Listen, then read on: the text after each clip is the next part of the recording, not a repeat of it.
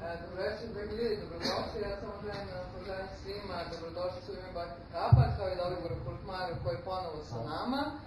E, sa na, u nastavku ove vrlo zanimljive teme. Ovaj, Dalibor je deo našeg, da ga kažem, uključuje se u edukativni program i iznova i iznova daje različite predavanja na temu Đotiša, u budućnosti možda i Ayurvede i drugih stvari. Ovo, inače se bavi vastom, Đotišom i Ayurvedom kao i generalno vedijskim znanjem Yoga. na dugi niz godina, yoga, jogom. Ovo, ja neću puno da vas zadržavam, nego vas prepuštam našem govorniku, hvala tebi, hvala se vam što Hvala. ste tu uživali. A, neću ja puno da vas zadržam, sad imamo sat i sat i to do dva, šalim se. Ovaj, hvala i s moje strane. Ovaj, hvala na, na uvodu i na dobrodošlici i hvala vama što ste došli. Naime, uh, ovo je nastavak priče od prošlog puta. Za one koji nisu bili, možete da preslušate ja obično ta, tu prezentaciju, da, dakle snimak prezentacije stavim na, na YouTube, znači možete naći po psihodinamika karme. Ovo je drugi deo. Ja nisam ni znao da će biti drugi deo, ali je tako ispalo. Zamolili su me da nastavim sa ovom pričom ili da bude repriza. Rekao, ok, reprizu možete da poslušate i ovako, ali bolje da nastavimo priču. Priča je, da kažemo, već, večna i neiscrpna i šteta da, da kažemo, to znanje koje služi svima nama na korišćenje, da prosto a, ne širimo dalje, jel? Znači, ovo je tema kojom se ja bavim, pa, poslednjih 25 godina. znači, više od pola života svakako. A, tako da, znači, pristrasno sam vezan za, za ovu temu, svakako, i a, mislim da je jako važna tema, ali i nesvakidašnja i neobična tema, vidjet ćete i sami. Ovaj, znači, priče o, o karmi i uopšte o tim mehanizmima karme, kako karma, da kažemo, funkcioniše šta je uopšte karma i kako, da kažemo, ti uticaji i da kažemo te sile i, i, i elementi planete ako hoćete ili šta um znači naša struktura, naš sistem od koga smo načinjeni kako u stvari to funkcioniše zapravo i kako to deluje na nas, jel? Pošto ima dosta slajdova, ja bih da krenem, ako se ne varate, znači ovde često ljudi pitaju ko si, šta si, gde možemo da te nađemo, tako da ovde imate sve informacije koga zanima. Možete da pratiti na, evo ga, Dharma Jyotish, znači ovo je moj subscribe YouTube kanal, tu možete besplatno da se, da kažemo, prijavite i da pratite sva neka dešavanja koje ja stavljam, to je broj telefona i tako dalje. A, kaže ovako, kada putnik dostigne svoj cilj, može da, odmah, da odbaci mapu. Postoje određeni faktori zakona karme koji se mogu vešto uskladiti prstima mudrosti. Ovo je jedan citat, onako dosta zvuči poetski, ima dosta istine u ovome. A ovo je tabela koju, smo, koju sam prošli put objašnjavao, sad ću samo ukratko da pređem, odnosno da se podsjetimo, znači postoji pet elemenata i postoji pet stanja, da kažemo, materije, pet, pet dimenzija stvarnosti i zapravo ovo je matrica univerzuma po kojoj univerzum radi. Pošto smo mi a, mikrokosmos, makrokosmos ili fusnota univerzuma, a, u suštini mi ne treba nigde da, da stignemo, mi već jesmo tu gde jesmo, samo što prosto a, nemamo još uvek razvijenu percepciju, ja bih rekao. Ne svest, pa i svest ako hoćete, ali percepcija je možda ključni, ključni termin. Znači, percepcija naša je nekako okrenuta više a, deluje na nižim nekim frekvencijama, više okrenuta nekim a, materijalnim stvarima, više okrenuta nekim materijalnim ukusima, ja bih rekao, nego, da kažemo, a, duhovnim. Ali isto dobra pojenta šta je duhovno, šta je materijalno, jel? U svakom slučaju, znači, od ovoga smo mi a, sastavljeni, znači imamo pet elemenata, imamo pet organa za delovanje, to su ruke, noge, glas ili govor, a, polni organ anus, imamo pet čula, miris, ukus, dodir, vid, sluh, i postoji, da kažemo, a, pet stanja svesti, znači počeo od nemanifestovanog preko intelekta, ega, uma, puruše i tome slično. I naravno tu su pet subtilnih elemenata, na sanskritu se zovu tana mater. Znači, kada je univerzum, da kažemo, započinjao, prvo je nastala subtilna matrica ili prototip, kao neki kalup. Iz te subtilne matrice su nastajali, da kažemo, a, čula, I onda, znači da kažem ovako, iz suptilne energije vatre je nastalo čulo, vida, iz čula vida je nastao organ vida, to je oko. I na kraju mi smo se pojavili i da kažemo duša je ušla u tu matricu i svako od nas ima oko i ne samo oko, nego ima i moć vida, jel? I to je zapravo vrlo, da kažemo, interesantno kada razmišljate na taj način. Postoje ljudi koji imaju oči, ali ne vide. Zato što nije pojenta u organu, da kažemo, u oku, nego je pojenta u, vidu, a vid je moć. Znači, mi imamo moć da vidimo stvari. Ako nam je dobra karma, vidjet ćemo. Recimo, ja nemam dobru karmu i nosim naočar, znači nemam dobar vid. Prema tome, postoji neki razlog, verovatno iz prošlog života, zašto ja ne vidim dobro. Nego mi treba naočari, pomagale i tako dalje. Tako da na taj način, znači prvo idu subtilne stvari iz kojih nastaju zapravo čula, preko čula ide organi čula i na kraju mi dobijamo organ za delovanje, a to je zapravo, a, e, dobrodošli. Šta? Bolje još znači. Izvolite. Ili ima mesta? Imate tamo stolite, aha? Ili možete tu stoji, kako hoćete. E, tako da, a, Znači, ovo smo objašnjavali prošli put, neću se ovde previše zadržavati, ali ima dosta stvari. A, naime, javlja se taj osjećaj lažnog ega s kojim se mi poistovećujemo i od jednog duša pomisli u stvari da, je, da sam ja moja ruka, da sam ja ono što vidim, da sam ja ono što čujem, da sam ja ono što osjećam i tako dalje, ukratko. Međutim, naravno, to je sve jedna matrica univerzalna koja u suštini je tu da nam pomogne da mi ispunimo svoje neke, pa ja bih rekao materijalne želje, materijalne porive, jel? I otprilike duša je došla sa tom idejom. Svaka duša je došla sa idejom zapravo da po neke iskustvo. Tako da svako iskustvo za dušu je dragoceno. Mi to kažemo ovo je dobro, ovo je loše, ali to nema veze. Duša gleda iz jedne, da kažemo, duhovne perspektive sve vreme i za nju nema dobro i loše. Znači svako iskustvo sublimira u svetlo. I to svetlo zapravo je svetlo spoznaje ili uvida ili saznanja. I upravo pošto je duša, da kažemo, prirode svetla, Znači svako, svako iskustvo koje mi dobijamo ovde u materijalnom svetu je za nas dragoceno. Što znači, to nam je hrana. Nekom se to možda ne sviđa i često su to loša ovakva onaka iskustva, ali to je samo kroz filter uma gledano. Sa aspekta duše zapravo sva iskustva su dragocena. Prema tome, to je hrana kojom, koju duša konzumira.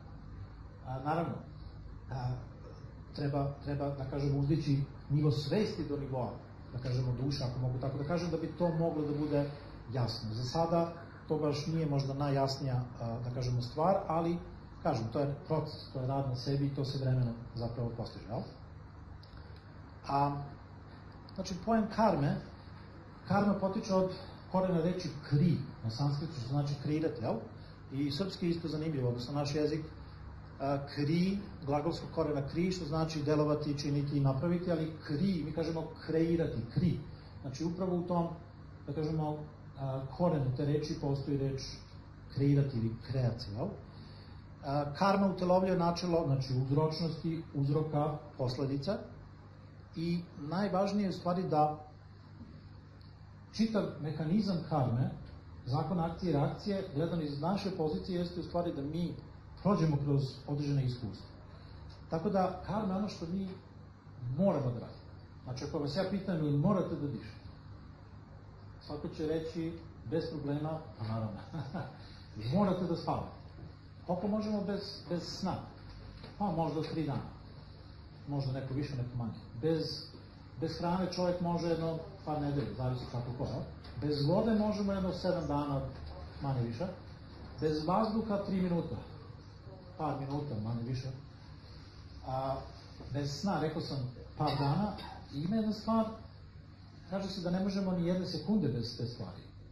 Znači, prosto nije moguće da funkcionišemo ni jedne sekunde bez te stvari.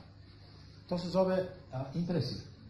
Impresija. Znači, svake sekunde se u nas utiskuje zapravo ono što mi zovemo realnost. Ili predmeti zapravo a, objekti a, realnosti ili objekti stvarnosti koju, koju, koju, u kojoj smo mi uranjeni, koja nas okružuje zapravo. Tako da u suštini karma je ono što mi moramo da radimo. I naravno, pozadina toga je vreme, utice vreme. E sad, šta je vreme, jel? Malo ćemo da, da ubrzamo ovde. Kaže, misli i dela se iznova iznova utiskuju u naš um i memoriju, stvarajući tako takozvane samskare. Jeste čuli za termin samskara? Ovi koji rade jogu, verovatno jesu, Samskara. A, ili karmički obrazci. Znači, bukvalno mi nosimo te karmičke obrazce i života u život od pamti veka, kaže se, ne postoji moment kad je to zapravo počelo da se dešava, zato što je počelo u van vremenskoj zoni, jel? Mi se negde merimo vremenom, protokom vremena i tako dalje. Međutim, moment kada smo mi, da kažemo, promenili, ako mogu tako da kažem, lunu ili kvalitet, je moment koji se desio van vremena. Što znači da po slobodnoj volji svaka duša dolazi dole da iskusi određeno iskustvo, dolazi po neke iskustva, i to svako ima, da kažemo, legitimno pravo. To je ono što nam je autoritet, vrhovni autoritet Bog dao, a to je zapravo taj moment slobodne volje. Prošli put sam mnogo više pričao o tome, tako da ne, ne mogu sad da se zadržavam previše oko toga, nažalost, ali jer puno ćemo vremena da izgubimo, a ima dosta stvari koje želim da ovde da ispričam. Naravno, možemo posle ostaviti a, prostora za, za pitanje. Ovo je zanimljivo, recimo, šema kako kako to seme neznanje, zapravo uzrok našeg pada, ako hoćete, iz duho, duhovnog nekog carstva, često ljudi pitaju, zašto smo mi pali iz duhovnog carstva ako je tamo sve super? Ima smisla, pitanje, jel? E, međutim, pojenta u tome što kad vi dobijete slobodu, automatski se pojavi jedan moment, e, jedva sam čekao ovaj moment da ja sada uradim onako kako ja smatram da, da, da, da treba, I to je moment našeg pada, u stvari. Grubo rečeno, to je moment zloupotrebe slobodne volje. Recimo, pas ili mačka, oni to ne mogu da urade, zato što im nije u opisu, jel? A, njihov, njihove matrice, ali čovek ima zapravo taj viši um, viši, višu svest i zapravo sa višom svešću ide odgovornost. Ali odgovornost podrazumeva da mi znamo ko smo, šta smo, šta nam je činiti i tako dalje i tako dalje. Tako da avidja ili neznanje je u stvari uzrok, ako mogu tako da kažem, ili preteča onoga što se zove materijalna želja. I to se na sanskritu zove bidža ili sem. Znači to je seme grešnih želja. U jogi se to zove vasana. Znači to su ti vrtlozi koje naš um vrti, stalno nešto se vrti kao neki oblak, neki, da kažemo, cirkus iznad naše glave i to se zove vasana. To su zapravo te neprestane želje a, jedan neprestani film koji mi stalno vrtimo, vrtimo, vrtimo, vrtimo i što je interesantno, film je uvek isti, ali mi se verujemo i nadamo se da ćemo jednog dana da mi budemo drugačiji, bolji, novi i tako dalje. Postavlja se pitanje da li je to moguće.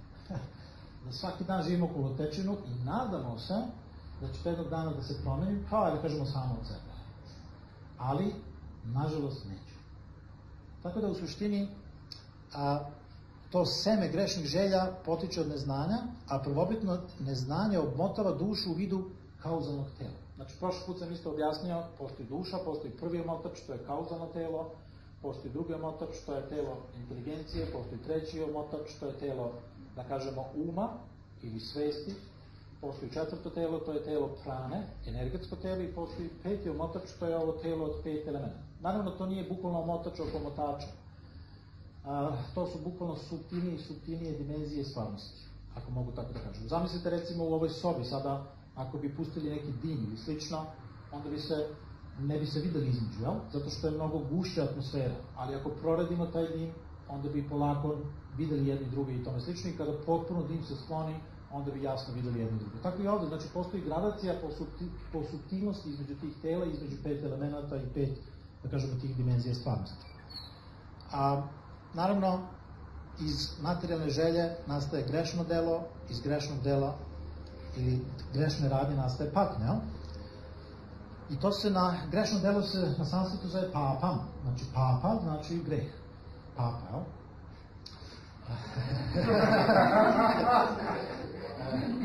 Što smete? Što nije smešno. Da. Znači, papa, sanskrit prevedeno sa sanskrita papa znači, kao što vidite, grešno delo ili grešna radnja. Znači, grešna dela stvaraju dve, dve reakcije. Jedna, je, jedne su manifestovane, a druge su nemanifestovane. Ok? I sad, grešno delo, rekli smo, a, a, stvara dve vrste nemanifestovanih reakcija. Znači, jedna kreira direktnu fizičku patnju ili emotivnu patnju, a druga kreira indirektnu patnju i uvećava naše grešne sklonosti. Naravno, sa porastom grešnih želja rastu i grešne aktivnosti.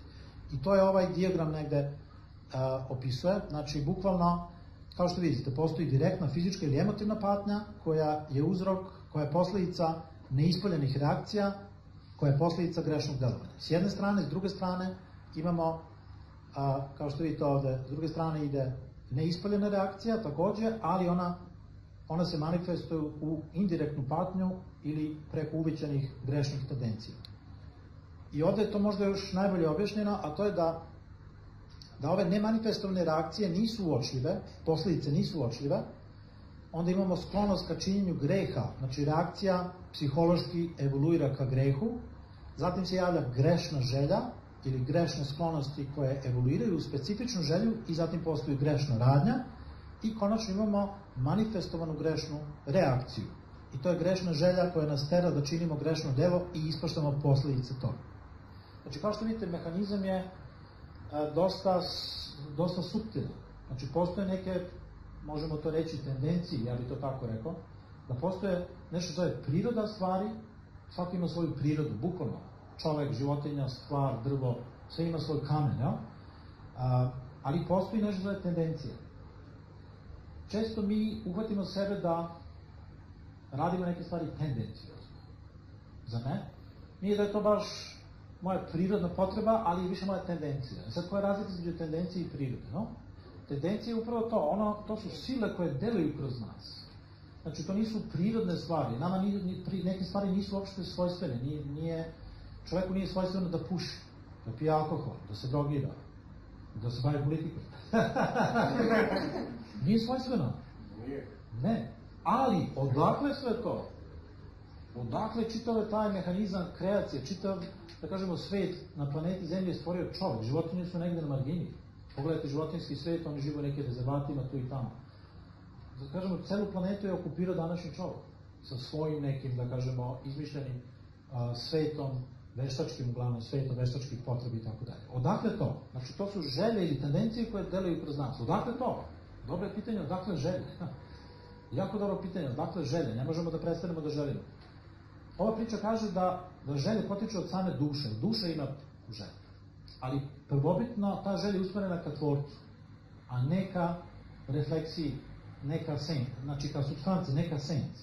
Međutim, ako moja ruka napravi senku, moja ruka je substanta, ali ako napravi senku i ako ja zaokupim pažnju prema senci, to znači da sam pomerio fokus pažnje na nešto što nije substancija.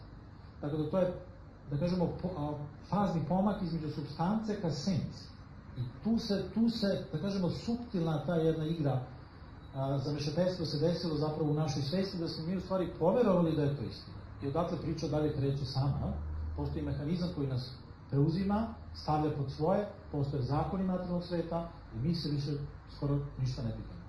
To je to. Moram da jedem, moram da spavam, moram da, da, da kažemo, dišem i tako dalje to što, se, što mi moramo, to se zove karma. Jel ok? Nadam se da, da uspio sam neko da objasnim. Ja? A, znači, sve dok ne spoznamo svoj pravi identitet, delujemo pogrešno i uplićemo se u materijalnu kontaminaciju. Zapravo, postoji čista svest i postoji svest koja je prekrivena, prošli put sam objasnio, to, to su gune. Postoje tri modaliteta prirode gune. Zove se rađas, to je kreativni princip, E, satva to je princip održanja ili trajanja i postoji princip uništenja, tamas. Tako da te tri sile se smenjuju, jel? I našim bićem uglavnom dominiraju tamas, znači destruktivni uticaj i rađas, kreativni potencijal. A satva, ono što je održanje, to je jako teško. Jer održati nešto, vaspitati nekoga, istrajati u nameri, privesti stvari kraju, to je jako teško. Jako je lako nešto stvoriti, još lakše uništiti, ali teško je nešto održati. Ja? To je princip satve. Tako da, ova priča kaže da taj princip satve proširen u, u večnost, bukvalno to je izlaz iz ove, iz ove matrice, iz ovog, da kažemo, virtualne ove realnosti. Jel? Tako da, najbolji način da iskorenimo patnju jeste da iskorenimo neznanje. To je to. Znači, i Buda isto govori o tome. Da zapravo neznanje, odnosno da je patnja problem svih problema i onda je naveo kako da dao je sugestije kako da mi u stvari izađemo iz te patnje, jel? I zaključno sa samadijim, sa nivanom, jel? Svestan napor iskorenjuje grešne reakcije, poništava grešne želje, nadilazi materijalne sklonosti i iskorenjuje neznanje. Prošli put sam isto pričao o tome. A, postoje remedije takozvane, Znači, da se mi koristimo elementima prirode da se pozivamo na Božju energiju i kažemo, ok, ja sam nemoćno da rešim neke probleme, ali priroda je deo Boga i onda se koriste recimo dragim kristalima ili, ili mantrama ili bojama ili nečim sličnim aromama, da u suštini probam da da, da, da prevaziđem neke probleme. Međutim, postoji onaj drugi deo priče, a to je svestan napor. Tako da mi možemo da uložimo svestan napor, a to je stvari da se zapitamo, da odvojimo dovoljno vremena i da se pitamo, da prosto posmatramo nešto dovoljno dugo, ili vremenom se stvari razotkriju. Znači, kaže se da ako nešto dovoljno dugo posmatrate, puno toga se razotkriva. Ja? Međutim, današnji čovek nema puno vremena da reflektuje. Znači, mi smo navikli da konzumiramo. Znači, vidimo dalje. Čekaj, li ti treba ili ti ne treba? Pa nije bitno, to svi imaju, prema tome, dobro imati najnoviji model nečega, jel? iPhone ili telefon, nije bitno, ili novi model kuhinje ili novu torbu, ili bilo šta, nije bitno. Košulju, šta god. Znači, nema refleksije, ne pitamo se, čekaj, to meni treba, ne treba, kad mi treba, zašto mi treba i tako dalje. Tako da mi smo već ušli u tu, taj mehanizam konzumerskog nekog mentaliteta i to je zapravo ono što je problem. Što se tiče pojma reinkarnacije, znači to je doktrina uzastopnog vraćanja koja kaže da se mi zapravo iznov iznov vraćamo zato što nismo ispunili materijalne želje. Kao što rekao, želja ne može da se ukloni, ona je, ona je sastavni deo nas, kao duše, ali zavisi od atmosfere, odnosno zavisi od onoga na što je naša svijest usmerena, postoje takozvane materijalne želje i postoje duhovne želje. Znači, nije problem u željama. Često ljudi misle, pa ja ću da prestanem da želim. Ne, to nije moguće. Jer sama želja da ne želi, ne želi, no? Kako ćemo sad? Ali, postoji moment, moment u stvari prelaska od senke na substancu. A to je da pomerimo fokus. Aha, ovo sam želeo danas, senka, ali senka pokazuje da odakle senka. Znači nešto baca senku. Gde je to nešto? Gore. Aha, pa tamo treba da gledam. Gore. I onda želje idu ka gore. Mislim, figurativno, metaforički, ali to je poenta. Znači, mi smo večni iz pozicije ovde i sada, možemo da menjamo ugao posmatranja. Znači, večno kad gledam u senku, onda sam večno sa senkom, kada promenim ugao gledanja, onda sam večno sa, sa Bogom. Znači, pojenta več, večnost ostaje. Mi smo večni, odnos je večan, ali promena ugla je ono što, da kažemo, menja našu situaciju. Znači, iz večnog neznanja idemo u večno blaženstvo, iz večnog blaženstva idemo u večno neznanje. Kada? Kad god dođe. Apsolutno, nema nikakvog problema. Zašto? Zato što je pozadina svega večnost. Znači, pitanje samo fokusa. Šta ja večno radim? Večno sam u neznanju. Ok, da može to da se promeni, da budem večno sa Bogom? Pa može, okreni fokus prema Bogu, onda sam večno sa Bogom. Nego nas buni pojam večnosti. Kako to da razumemo? Kako sad malo sam večno u materiji, pa sam onda malo večno sa Bogom, pa sam opet večno sa materijom. Da to moguće. Zato što nismo navikli tako da, da rezonujemo. To je malo iz, izvan domena, da kažemo. Ali to ono što jogi, što mudraci, što riši, drevni, iz drevnih civilizacija, ne samo vedskih, nego i šamani i svi ostali, govore, u stvari da pojenta da smo mi večni, odnos sa kreacijom sa Bogom je večan, jedino što nije večno iluzija. To je jedino što nije večno. Ali ne znači da iluzija nije stvarna. Iluzija, prava definicija iluzije je da je ona stvarna, ali privremena. E sad, je li moguće da je nešto stvarno, ali privremeno? Pa jeste. Je li ovo stvarno? Jeste. A? Služi nečemu. I sad uzmem i razbijem. I to više ne, ne radi, nije to to. Razumete? Znači, to je trajalo koliko je trajalo dok ja nisam uzeo i razbio. Ili ovu čašu ili bilo šta. I ona više nije čaša, nema tu funkciju. Ali plastika, materijal, sako je ostalo. Ali nema više, nema više tu funkciju, nema više, da kažemo, taj oblik, jel? Tako da nije poenta u tome da je iluzija nešto što ne postoji. Ne, ona postoji i ona je refleksija istine. Prema tome, za nas je ona bukvalno jedino, jednako primamljiva kao i sama istina. Ali zbog zamene teza, zbog našeg pomera, pomeranja fokusa i nedostatka ljubavi prema Bogu, ajde tako da kažemo, to je moment našeg pada u stvari. Znači kada se negde u naš um, ako mogu tako da kažem, ili svest, uh, uh, i ušlo nešto što nam je za moment odvratilo pažnju od fokusa na, na istinu, na suštinu. I to je moment pada. Naravno, to nije se desilo odma, nego to išlo iz života u život, iz života u život, znači od, od duhovnog carstva preko rajskih planeta, drugih planeta, zemlja, preko nekih oblika, formata, pa sve do mrava dole na zemlju. Tako da to je proces, da kažemo, evolucija svesti ili involucija ili devolucija svesti koja dugo, dugo traje. I onda ponovo od ide gore ka čoveku i, i nazad, jel? I kaže se da svest jako dugo putuje i dugo evoluira i dugo sazreva. I zato se kaže u stvari da imati ljudski oblik danas na planeti je jako redka pojava. Iako mi mislimo, ma da, previše nas ima. Ali pogledajte koliko ima insekata, koliko ima biljaka, koliko ima nekih zverinja i tako dalje i tako dalje. Mnogo ih više ima nego ljudi na zemlji, ja? Nas ima 7-8 milijardi, ali pogledajte insekata koliko ima. Naravno, mi ne razmišljamo o tome, ali fakat je tako, da. Ljudski oblik je zapravo jako redka, redka pojava. Tako da, a, pojete da mi smo za svo, svo to vreme nagomelali dosta te karme, ili tog kumulativnog nekog potencijala koji, da kažemo, poprima jedan zamajac, jednu kritičnu masu koja, da kažemo, iz nevidljivog, nemanifestovanog prelazi u vidljivo manifestovano. I to je moment zapravo karme koja sazreva. Znači, postoji karma, sveukupna karma, deo te karme mi preuzimamo dole, uzimamo, silazimo dole da probamo da, da, da rešimo, da očistimo tu karmu, ali kreiramo novu karmu i to je naš problem. I to i priču skoro da nema kraja. Tako da ono što rade mudraci i joge, oni kažu, ok, u ovom životu posvetit ću ceo život da zaustavim, da kažemo, tu vrtešku, jel? želja, misli ili da transformišem to, ili da to seme, greh ili želja negde spavim. Čime? Strogošću. I to se zove tapas ili pregor.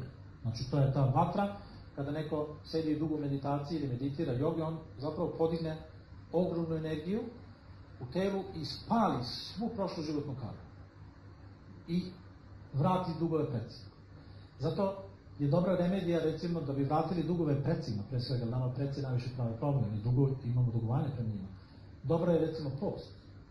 Ali to nije post na nivou religije, to je post na nivou jednodnevni, dvodnevni, trojdnevni post, bez vode i tako dalje, sa, da kažemo, a, a, fokusom na, na svrhu onoga a, što, zašto postimo. I to je zapravo jedna moćna stvar. Jer post podiže, da kažemo, temperaturu tela, inteligencije i tome slično, a inteligencija je u stvari vatra na nivou naše psihe. A, šta je zanimljivo? Postoje razne sfere, znači postoji kauzalni nivo, postoji astralni nivo i postoji ova, ova da kažemo, gruba realnost. Znači, duša kada izađe iz tela, ona se vrati u astral, ne ide u duhovno carstvo, nego ostaje u astralu. I onda čeka zapravo da se stvore novi uslovi da ona može ponovo iz astrala dole da se vrati u fizički nivo. Ali redko ko razrešava kauzalitet. Znači, iznad astralnog nivoa je kauzalni nivo. To je nivo zapravo, a, jako je teško objasniti kako taj nivo a, funkcioniš, ali tu, tu je seme, tu su kodovi, tu je, da kažemo, a, seme naših želja. Znači, kao neke, neki, neka semena su se nalaze u tom kauzalnom telu. I onda zapravo tu prvo karma sazreva i onda se spušta na astralni nivo, kada tu karma sazri, onda se spušta na telesni nivo i onda mi to zovemo, ja ne znam, uspeh, neuspeh, tragedija, sreća, nesreća i tako dalje. A, znači, bukvalno, a, sve dok ne otkrijemo naš pravi identitet, a šta bi to bilo? Pa čista svest, jel? Prolazimo kroz razne nivoje, da kažemo, reinkarnacije ili utelovljenosti u carstvu prirode. I šta ovde piše, kaže, kada usvojimo duhovni put koji najviše odgovara našem temperamentu i razumevanju, počinjemo da se oslobađamo uslovljenosti i opčinjavajući moći prirode i neutrališemo karmu. E sad, ovo je jedan, da kažemo, jedna šema, jedan prototip, jedan kauf koji ja koristim u svom radu, u radu sa klijentima, sa studentima i tako dalje. Zove se kao. Znači, postoji nešto zove personifikacija vremena. Jako je teško reći šta je vreme, ali naravno vreme je Bog. ali postoji nešto zove psihološko vreme, vaše vreme, moje vreme, univerzalno vreme, atomsko vreme, interno vreme, vreme sazrevanja, dobro vreme, loše vreme, kišno vreme, kišovito, sunčano vreme, zimsko vreme i tako dalje. Šta ovo govori? Ovo govori da jednostavno vreme ima, možda ne znamo šta je vreme, ali znamo da postoje kvaliteti vremena. Znači, kvaliteti vremena Treba nešto? Ste teli nešto? A ništa. Kvaliteti vremena a, operišu zapravo preko pet elementa. Znači, postoji pet kvaliteta vremena. Znači, prošli put smo rekli da postoji zemlja, voda, vatra, vazduh, etar i to su u stvari, mi to malo naivno zamišljamo, aha, zemlja kojom hoda, voda koju pijem, to je okej. Okay. Međutim, postoje suptila matrica koja prethodi elementima, pet elementa. Znači, ja kad kažem zemlja, to nije samo zemlja kojom hodam. To je nešto što je čvrsto, što je, da kažemo, kompaktno, što je teško, što je masivno i tako dalje. Što ima formu, što ima oblik, što ima trajanje, ima rek neki i tako dalje. Kad kažem voda, to je nešto što je tečno, što je zapravo a, amorfno i tako dalje, kohezijono. Ja? E sad šta je poenta? Znači, kada to preslikam na šemu koja se zove, da kažemo, matrica, kal puruša ili personifikacija vremena, zapravo ovo što vidite ovde, to se zove, znači to je natalna karta koja, s kojom se radi u Džotišu, u, znači u indijskoj astrologiji. I upravo postoji ta, da kažem, matrica vremena koja je preslikana dole na zemlju. Znači postoji, da kažemo, a, nebeski neki svod i postoji zodijak kojim putuju sunce i mesec i ostale planete, a mi smo dole, da kažemo, na, na zemlji. Jel? I šta je poenta? Poenta je zapravo da po ugledu na kosmički oblik vremena, koji je personifikacija koga su drevni mudraci, da kažemo, zvali Kal Puruša, Kal inače znači vreme, onda po uzoru zapravo na, na, na ovu figuru koja ima, da kažemo, glavu, ima lice, vrat, ruke, grudi, srce, stomak, hukove i tako dalje, tu su zapravo pripisani a, zodijački znaci. Znači, to je bukvalno anatomija vremena, ako mogu tako da kažem. Znači, po toj anatomiji vremena i po uzoru na kosmičko, kosmičku osobu koja je prikazana kroz zodijačke znake, zapravo mi imamo glavu, ruke, noge, trbuh, stopala i tako dalje. Ja? I to je zapravo taj print, to je taj kalup koji a, je dole utisnut i zapravo koji funkcioniše sve vreme u pozadini, ja bih rekao. Ajmo da idemo dalje šta ova priča kaže. Kada ovo prebacim, evo recimo, opa, ovo je, ovo je slika ljudskog bića, znači videli smo malo pre ona je slika, da kažemo, kosmičkog čoveka, međutim dole kada preslikamo to na na, na našu ravan, znači dobijemo u stvari ljudsku figuru koja takođe ima glavu, lice, vrat, ruke, grudi, srce, stomak, kukove i tako dalje i tako dalje. I zapravo ova figura, odnosno ona malo pre figura je preslikana u ovu matricu ovde. I tu imamo 12 polja. LG, to je lagna, to je ascendent, prva kuća, druga kuća, treća, četvrta i tako dalje. Imamo 12 kuća. Znači ovde glava, lice, rameni pojas, grudi, srce, stomak, donji abdomen, bubrezi, polni organi, kukovi, kolena, listovi, stopala. Znači, bukvalno jedan krug, jel? Koji se zatvara. Znači, bukvalno, ako bi ovu sad, ovu figuru tu spakovao, tu bi bila glava, ovde bi bila stopala. Znači, on bi ovako bio ubijen, jel? I u stvari to pokazuje zodijački pojas na nebu.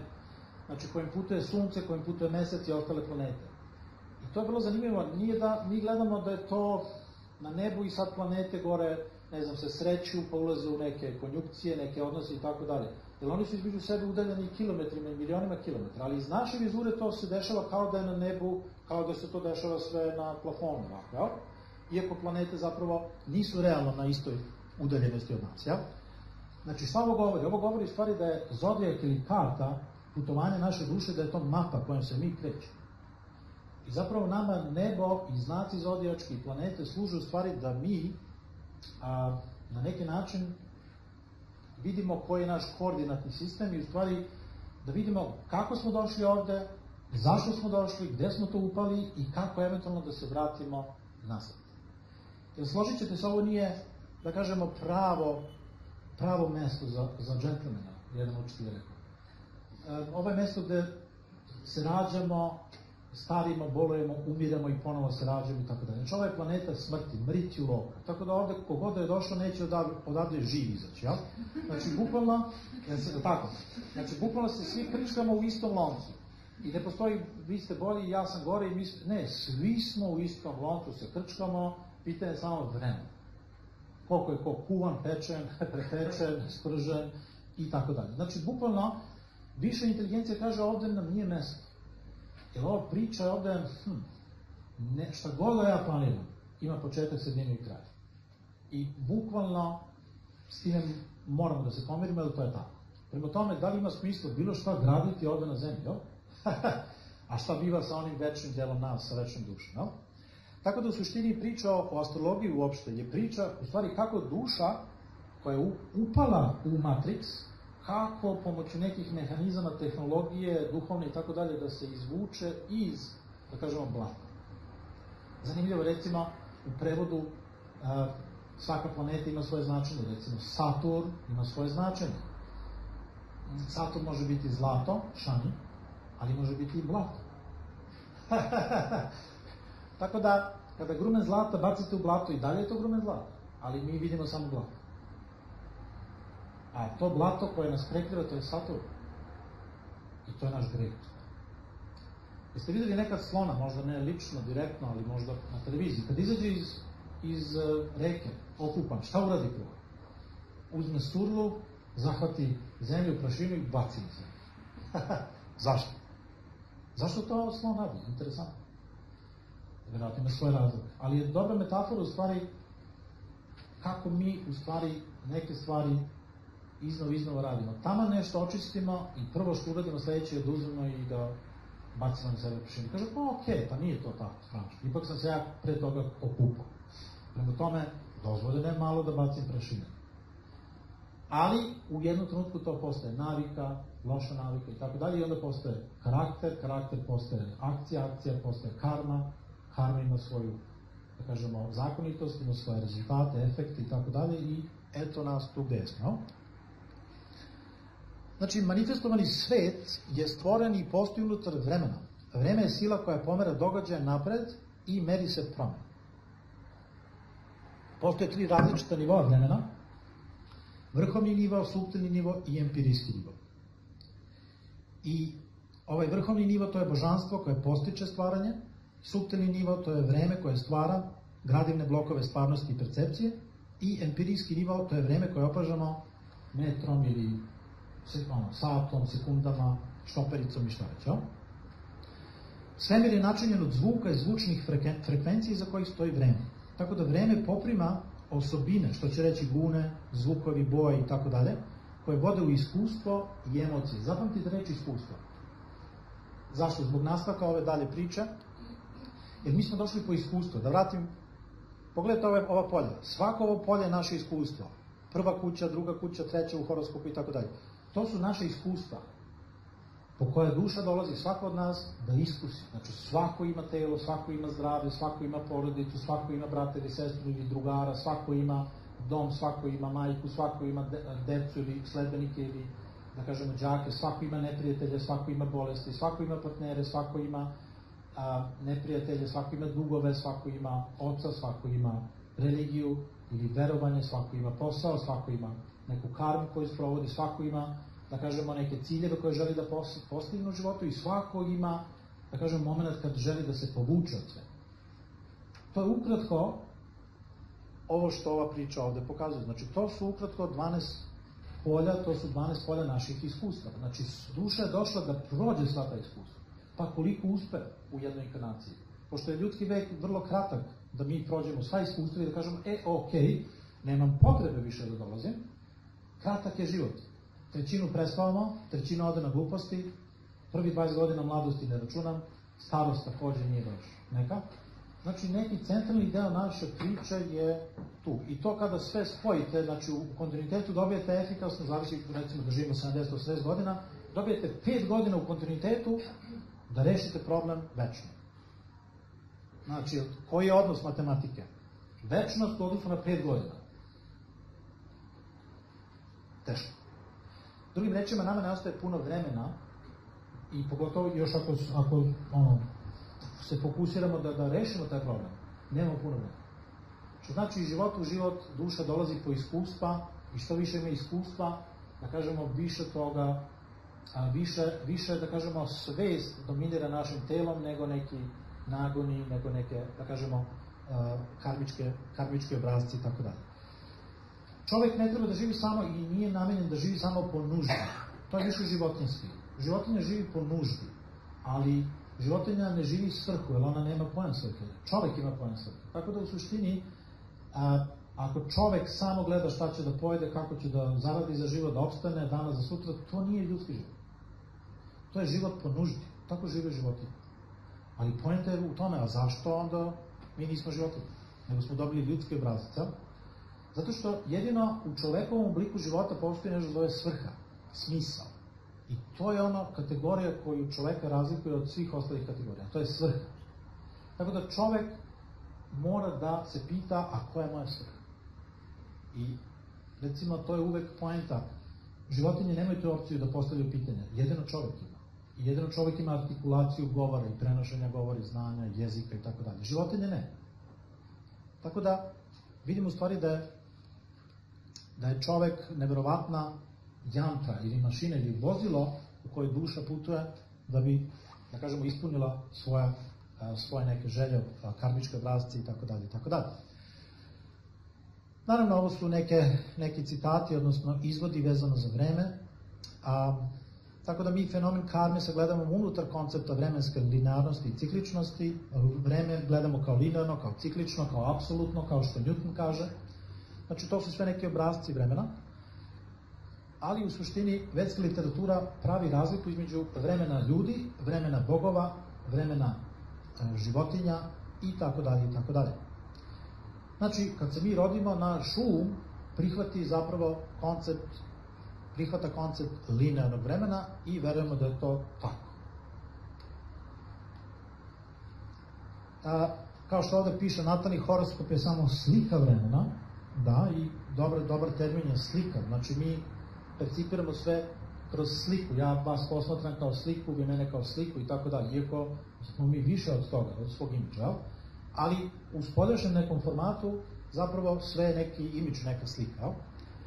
A teorija karme često nije sasvim ispravno prikazana i do kraja objašnjena u raznoj literaturi. Recimo, ova priča vedska i vedska kosmologija kaže da je univerzum ogroman i da je da postoje gornje, gornji svetovi i donji svetovi i da su svi naseljeni. Znači nije samo zemaljska rava naseljena i, i puna života, nego postoje, da kažemo, čitav univerzum ima čitavu hijerarhiju bića koja postoje iznad nas, ispod nas i tako dalje. I šta je poenta? Ako duša se već kreće od viših ka nižim instancama i gore, preko ljudskog oblika, šta recimo ako prošli život nismo živjeli na ovoj planeti? Nego smo živjeli na nekoj dalekoj planeti, nekoj dalekoj galaksiji i tako dalje tako dalje. Kako ćemo onda da objasnimo šta smo bili u prošlom životu? Hm? Često ljudi pitaju, šta sam ja bio u prošlom životu? Kako ja da ti objasnim kad si živio u drugoj galaksiji? Na drugoj planeti i ko zna kako si, kako si, kakav si format imao egzistenciji i tako dalje i tako dalje. Prema tome, mi često je karma prikazana, da kažemo, na pogrešan način ili nedovršena. Drugim rečima, kako je vreme na suncu?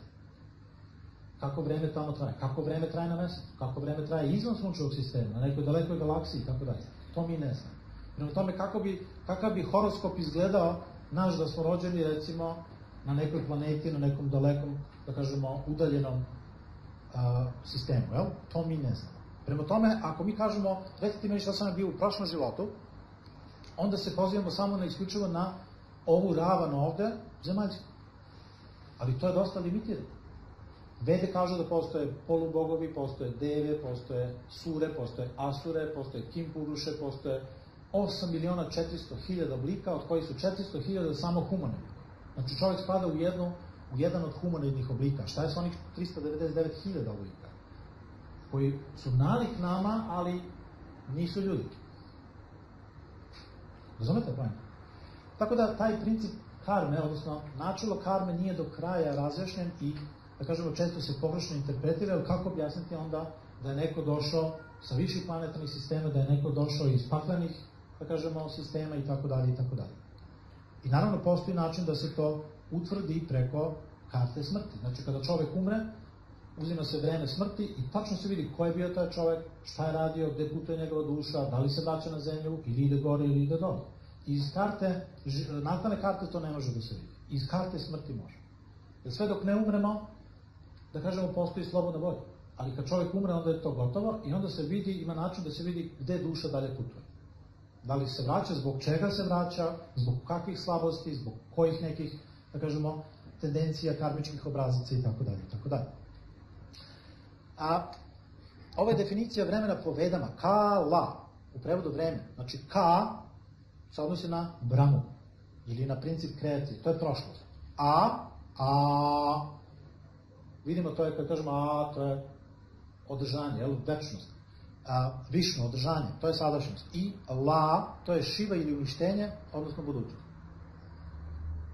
Znači, kad mi kažemo kala, to je stvari Bog u formatu svetog trojstva, to su Brahma, Višnu i Šiva. Ili u hrišćanstvu Otac, Sin Boži i Sveti Duh, jel? Znači, da bismo razumeli energiju vremena, moramo da razumemo dimenziju postoja. E sad, to je malo, naravno, filozofski, metafizički, ali u svakom slučaju je tema za, za razmišljanje. Drugim rečima, ne možemo mi da odvojimo vreme od, od postojanja. Kao što ne možemo da odvojimo s, uh, svetlo od materije i tako dalje i tako dalje. Kaže se da se sve menja osim vremena koje čini da se sve menja. A? Da li istina? Jer jedina konstanta u univerzumu je promena. Ko neće da se menja, ne može. Mora. ne postoji ja neću da se menja. To nije moguće. Čak i da hoćemo, ima jedna, dopala mi se kako je to David Froley rekao, kaže imamo pravo da ne guramo ruku u vatru. Ali kad jednom gurnemo ruku u vatru, nemamo pravo da se ne opečemo. znači, taj zakon mi ne možemo da menjamo. Dok ne gurnem, dok ne uradim nešto, ima još jedna druga stvar koja meni se isto sviđa, kaže, dok ne izgovorim reč ili rečenicu, ja sam njen gospodar. Kada izgovorim, zauvek postajem njen sluga ili robot. Znači, dobro treba da porazmislimo, pre nego što izustimo nešto, šta ćemo da kažemo. Jer počinjemo da robujemo tom. Znači, tu karmu pravimo, takođe. Znači, karmu pravimo na nivou misli, reči, akcije. Da. I najgora karma koja ide direktno na dušu je ono što ide kroz govor. Ste znali? Moramo da vodimo računa što govorimo. A zašto nije postupak? Ne, postupak zato što a, zato što je postupak, a, govor je vezan za akaš, za etar. Da, A i- etar direktno ide na, je najbliži duši. A kako može, na primjer, reći da ćeš ubiti nekoga, biti jači od toga da nekog Zato što reč na kraju završi u delu. Ili prvo ide misao, pa reč, kad kažem e, zvuk, zvuk ide na nivou misli. Znači ja sad mogu da čutim, ali zvuk ide na, na nivou misli, znači to je zvuk u stvari.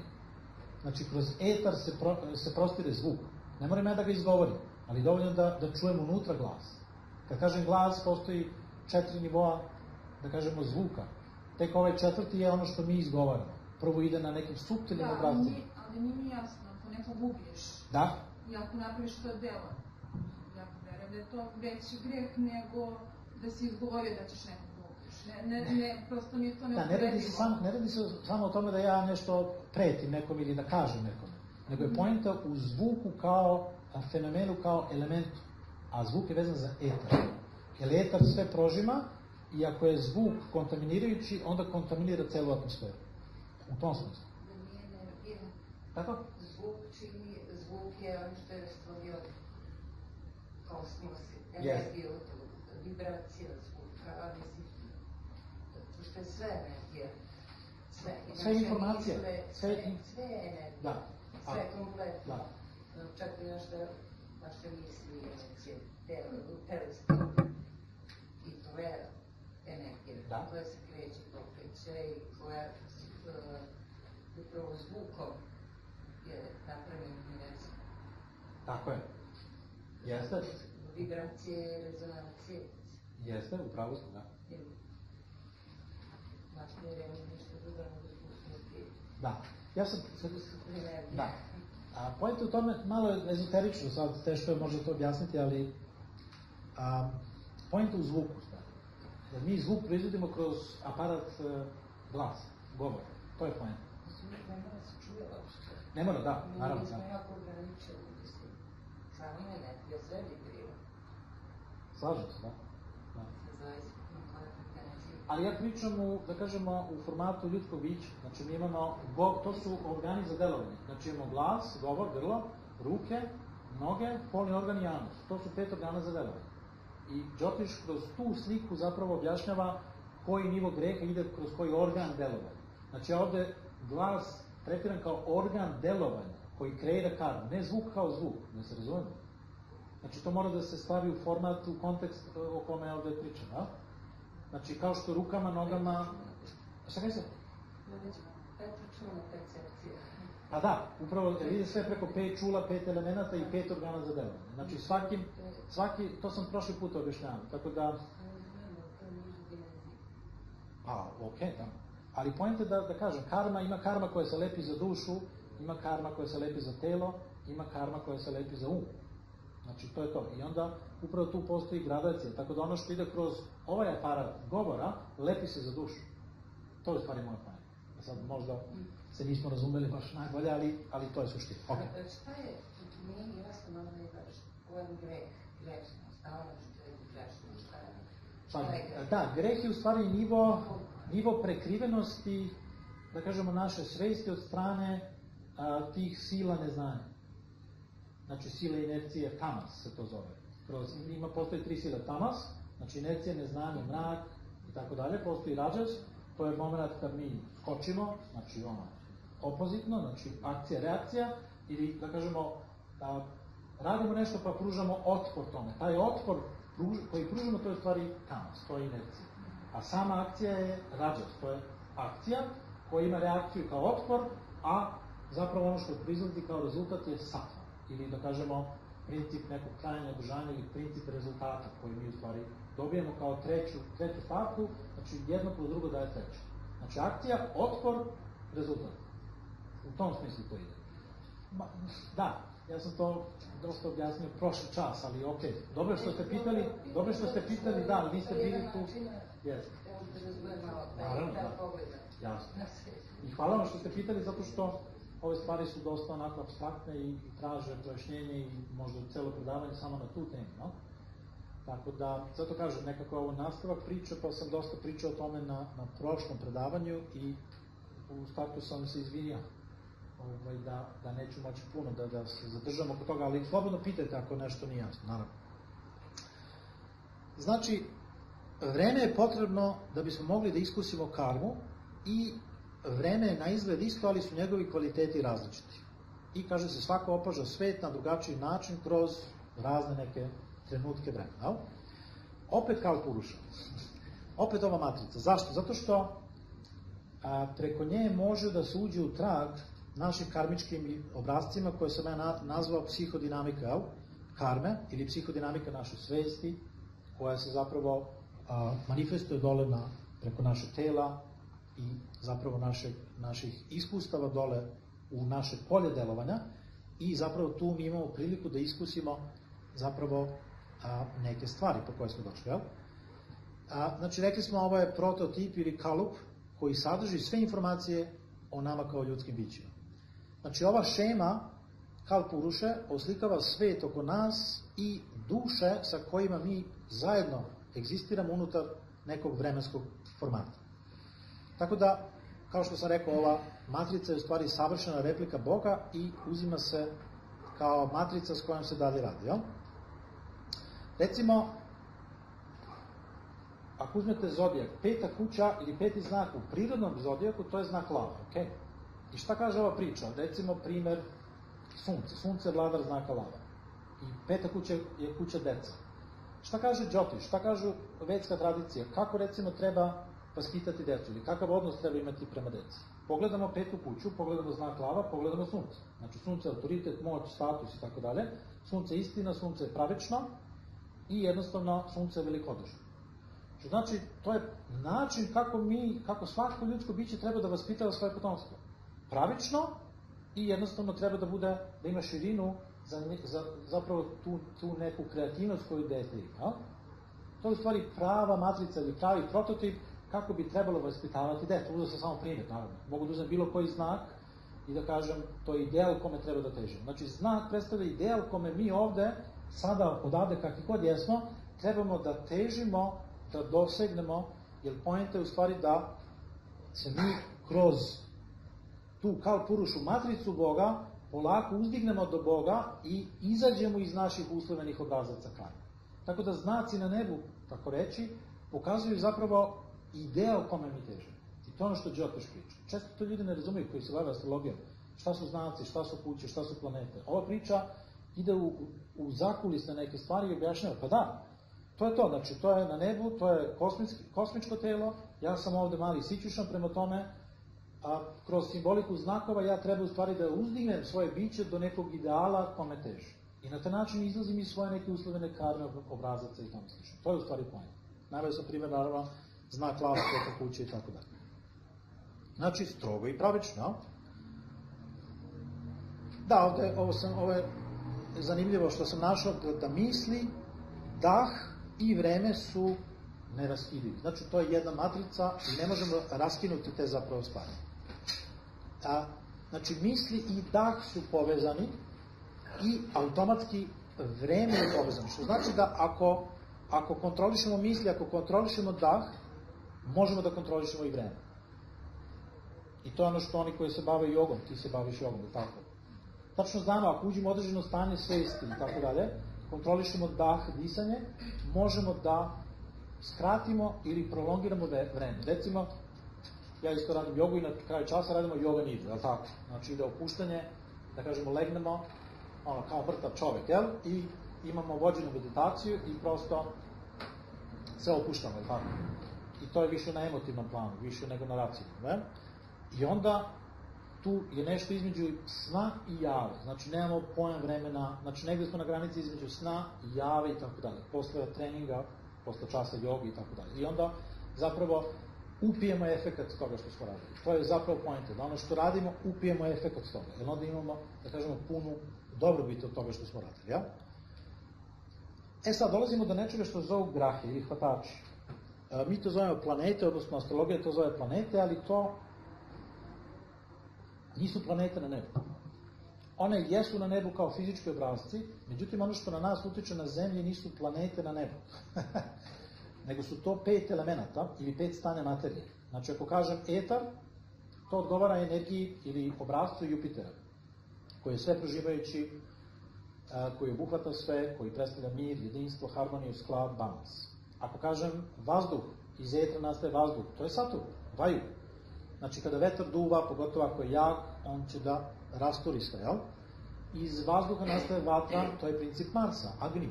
Znači, Mars je energija, Mars je rad, energija, akcija, dinamika i tako dalje. Iz vatre nastaje voda, voda je emocija, voda je zapravo a, takođe misao, emocija, harmonija neka i tako dalje. I jednostavno iz vode nastaje zemlja ili princip zemlje. To je znači konkretizacija, materializacija i tako dalje. Što znači da imamo pet stane materije. Planete služe ili grahe služe zapravo da mi a, približimo tu nebesku matricu našem polju delovanja, dole na zemlji i kažemo, ok, kroz tih pet elemenata, pet dimenzija stvarnosti, ta priča deluje na svakoga od nas različito zato što mi iznutra imamo jedan zapis, jedan obrazac koji već nosimo iz prošlog života. I ta interakcija zapravo ide preko polja svesti, jer svest je jedna, ali videli smo malo, prepostoje 12 polja, to su 12 aspekata našeg života, gde se te planete ili ti, te grahe, ti impulsi ili ti kompleksi, u psihologiji se to zove autonomni kompleksi, koji deluju kroz nas, manifestuju i teraju nas zapravo da mi jurimo ta iskustva. Da ne znam, da imamo roditelje, hteli mi to ili ne, da imamo braću, sestre, da imamo dom, da imamo porodicu, da imamo neki posao, da imamo neku priču, da imamo neku dramu životnu koju trebamo da, da, da prođemo i tako dalje. Da imamo neke sadržaje, jel? Tako da grah ili hvatači upravo su tih devet varijabli o kojima Đotiš govori i postoji ascendent, to je nula. Znači imamo devet varijabli plus nula, znači imamo de, dekadni sistem, decimalni sistem. I bukvalno sa deset prstiju na rukama mi činimo karmu vršimo karmu. Znači sve što radimo, radimo sa prstima. A, tako da u suštini pomoću pet, odnosno pomoću graha, pomoću hvatača našeg uma, našeg stanja, da kažemo svesti, mi u stvari a, sprovodimo tu karmu. Znači ispunjavamo te neke želje. Znači svaka graha i svaka planeta deluje kroz nas i pokazuje tačno određene želje koje mi imamo u svom horoskopu. Naravno da postoje nešto što je univerzalne želje ali kad uđemo u mikrosistem, svako je opet osoba za sebe, ima svoje interno vreme, koje dobija rođenjem, odnosno prenosi zapravo neki, neku karmu, svoju karmu iz, da kažemo, prošlog života. A, naravno, ja malo prepričavam, ali ne mogu sve da, da, zapravo jako puno toga ima. Znači, reč grahana znači pomračenje. Znači, postoji svetlo sunca i mi znamo da postoji senka. Znači, kada svetlo sunca naiđe na neki objekat, iza toga imamo senku, tako? Što znači da u suštini svaki objekat u materijalnom svetu, u ovom sunčevom sistemu, u suštini pravi senku. Kaže se, jedan mrtav čovjek nema senku, jel? I to se, da kažemo, obrnuto gleda u stvari da svaki objekat, po znacima navoda, pomračuje to svetlo koje je svetlo istine, koje je svetlo sunca, koje je sve proživajuće i tako dalje. Drugim rečima, sve što se kreće ovde na zemlji, na neki način ostavlja trag, ostavlja senku. I to je ono što Đotiš kaže da se zove graha ili grahanam. I zapravo o, o tome se radi. Znači, sve što se kreće ima svoj neki momentum, ima svoj neki, da kažemo, svoj neki rad koji vrši, ima neku svoju svrhu, ima neku svoju karmu i tako dalje i tako dalje. Tako da kaže se da ove grahe pomračuju naš um, naš, našu dušu i naše telo. I karma deluje na nivou tela, psihi i duha. Kaže se da softver karme kodira zarobljenu dušu preko uma i tokom 9 meseci trudnoće biva instaliran. A naš um biva kodiran prethodnom karmom. A, znači, bukvalno šta je karma? Karma je jedan vid algoritma, odnosno šta je graha? Graha je jedan vid algoritma koji u stvari sprovodi karmu. Mislim, jako je teško u suštini objasniti šta je to što upravlja nama, ali definitivno da nema našeg uma, ovo telo koje prati um ne bi moglo ništa. Znači, tu je um bitan, jer preko njega ti uticaji dolaze od ozgo, preko uma i onda um dalje pokriva, ili svest, pokriva naša mikrosvest, fizička, pokriva zapravo ceo organizam, ceo sistem i zapravo tu dolazi do te interakcije onoga što je kosmičko i onoga što je dole zemaljsko naše interno. Jel? I kaže se da su grahe kao te neke žice koje povezuju gore nebo, dole sa zemljom. Jel? Odnosno sa našim poljem delovanja. U Bhagavad Gita je rečeno da se to zove kšetra gja ili polje delovanja. Šta je to polje delovanja? To je zapravo sam ja kao duša koja je došla sa svojim željama, svojom karmom u želji da ispuni tu, da kažemo, karmu, kroz različite aspekte života. Partnerstvo, posao, ljubav, borba, tuga, radost, sreća, hrana i tako dalje. Znači, to su sve neki naši aspekte života. A, tako da, na neki način smo programirani tim karmičkim obrazcima iz naše prošlosti. U stvari, ja sam razmišljao o tome, pa zašto uopšte se nešto dešava kad se dešava? Zato što je to kumulativni efekt. Znači, akumulirani, akumulirani, akumulirani rad na kraju postane, da kažemo, realnost. Jel? Kad mi nešto akumuliramo, akumuliramo, akumuliramo, na kraju to se i desi. Znači, neko akumulira bes i gnev i tako dalje, na kraju eksplodira. U tom smislu, a? Ili, ne znam, akumulator, recimo, dobar primjer. On akumulira, on je unutra hemija. Ali ako, ako ta hemija dobro radi, ona akumulira tu energiju i mi dobijamo struju. Tako? Znači, proizvodi struju.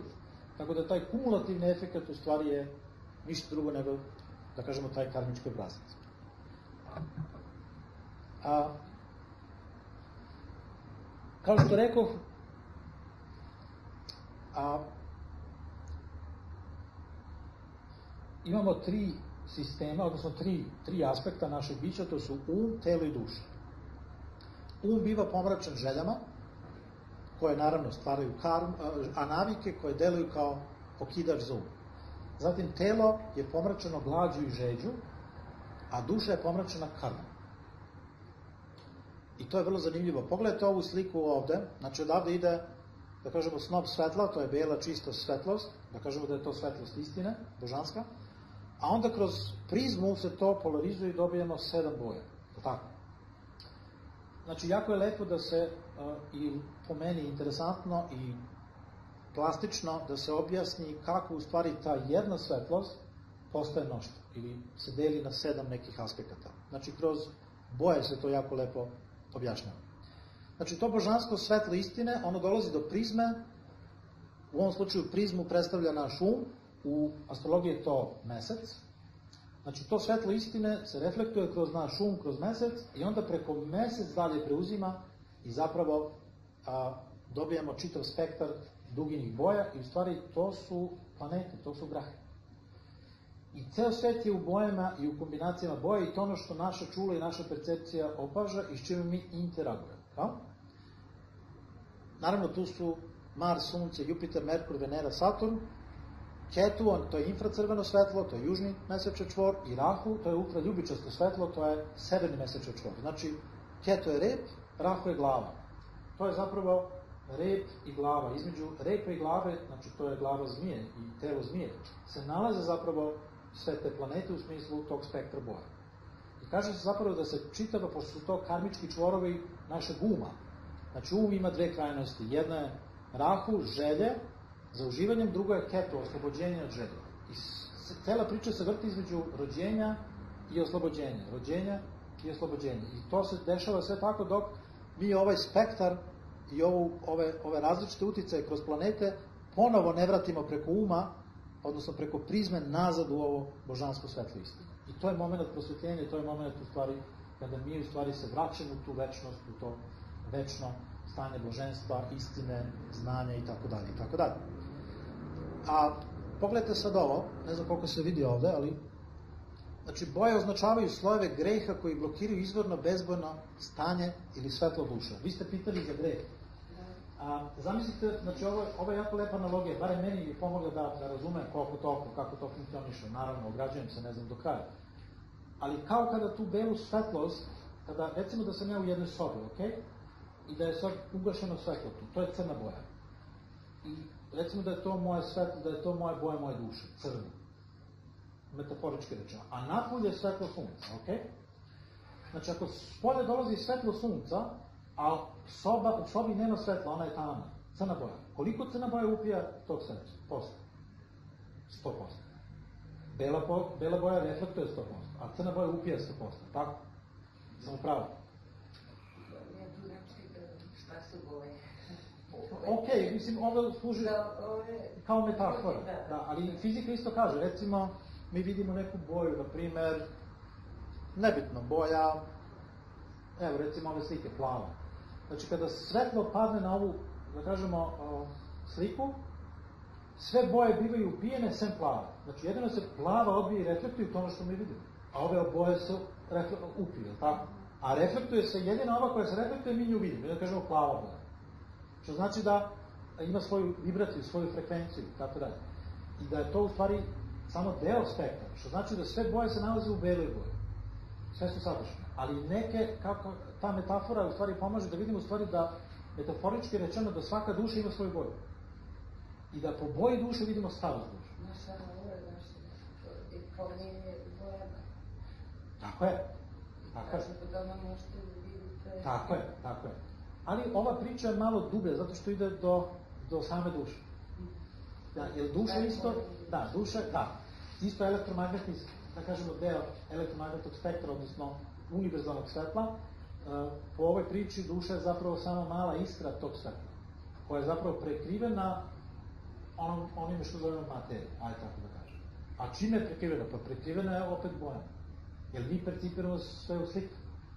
To je to. Znači, naravno, to je sve otvoreno za diskusiju, ali ja, ja pokušavam da vam približim kako ova priča a, kroz metaforu, kako je, kako je to objašnjeno. Tako da kroz boje mi vidimo u stvari da svak, svaka ta varijabla, mi zovemo to broj 1, broj 2, Mars, Jupiter, nebitno, kako god da zovemo, možemo da podvedemo pod jednu kategoriju, pod jednu varijablu.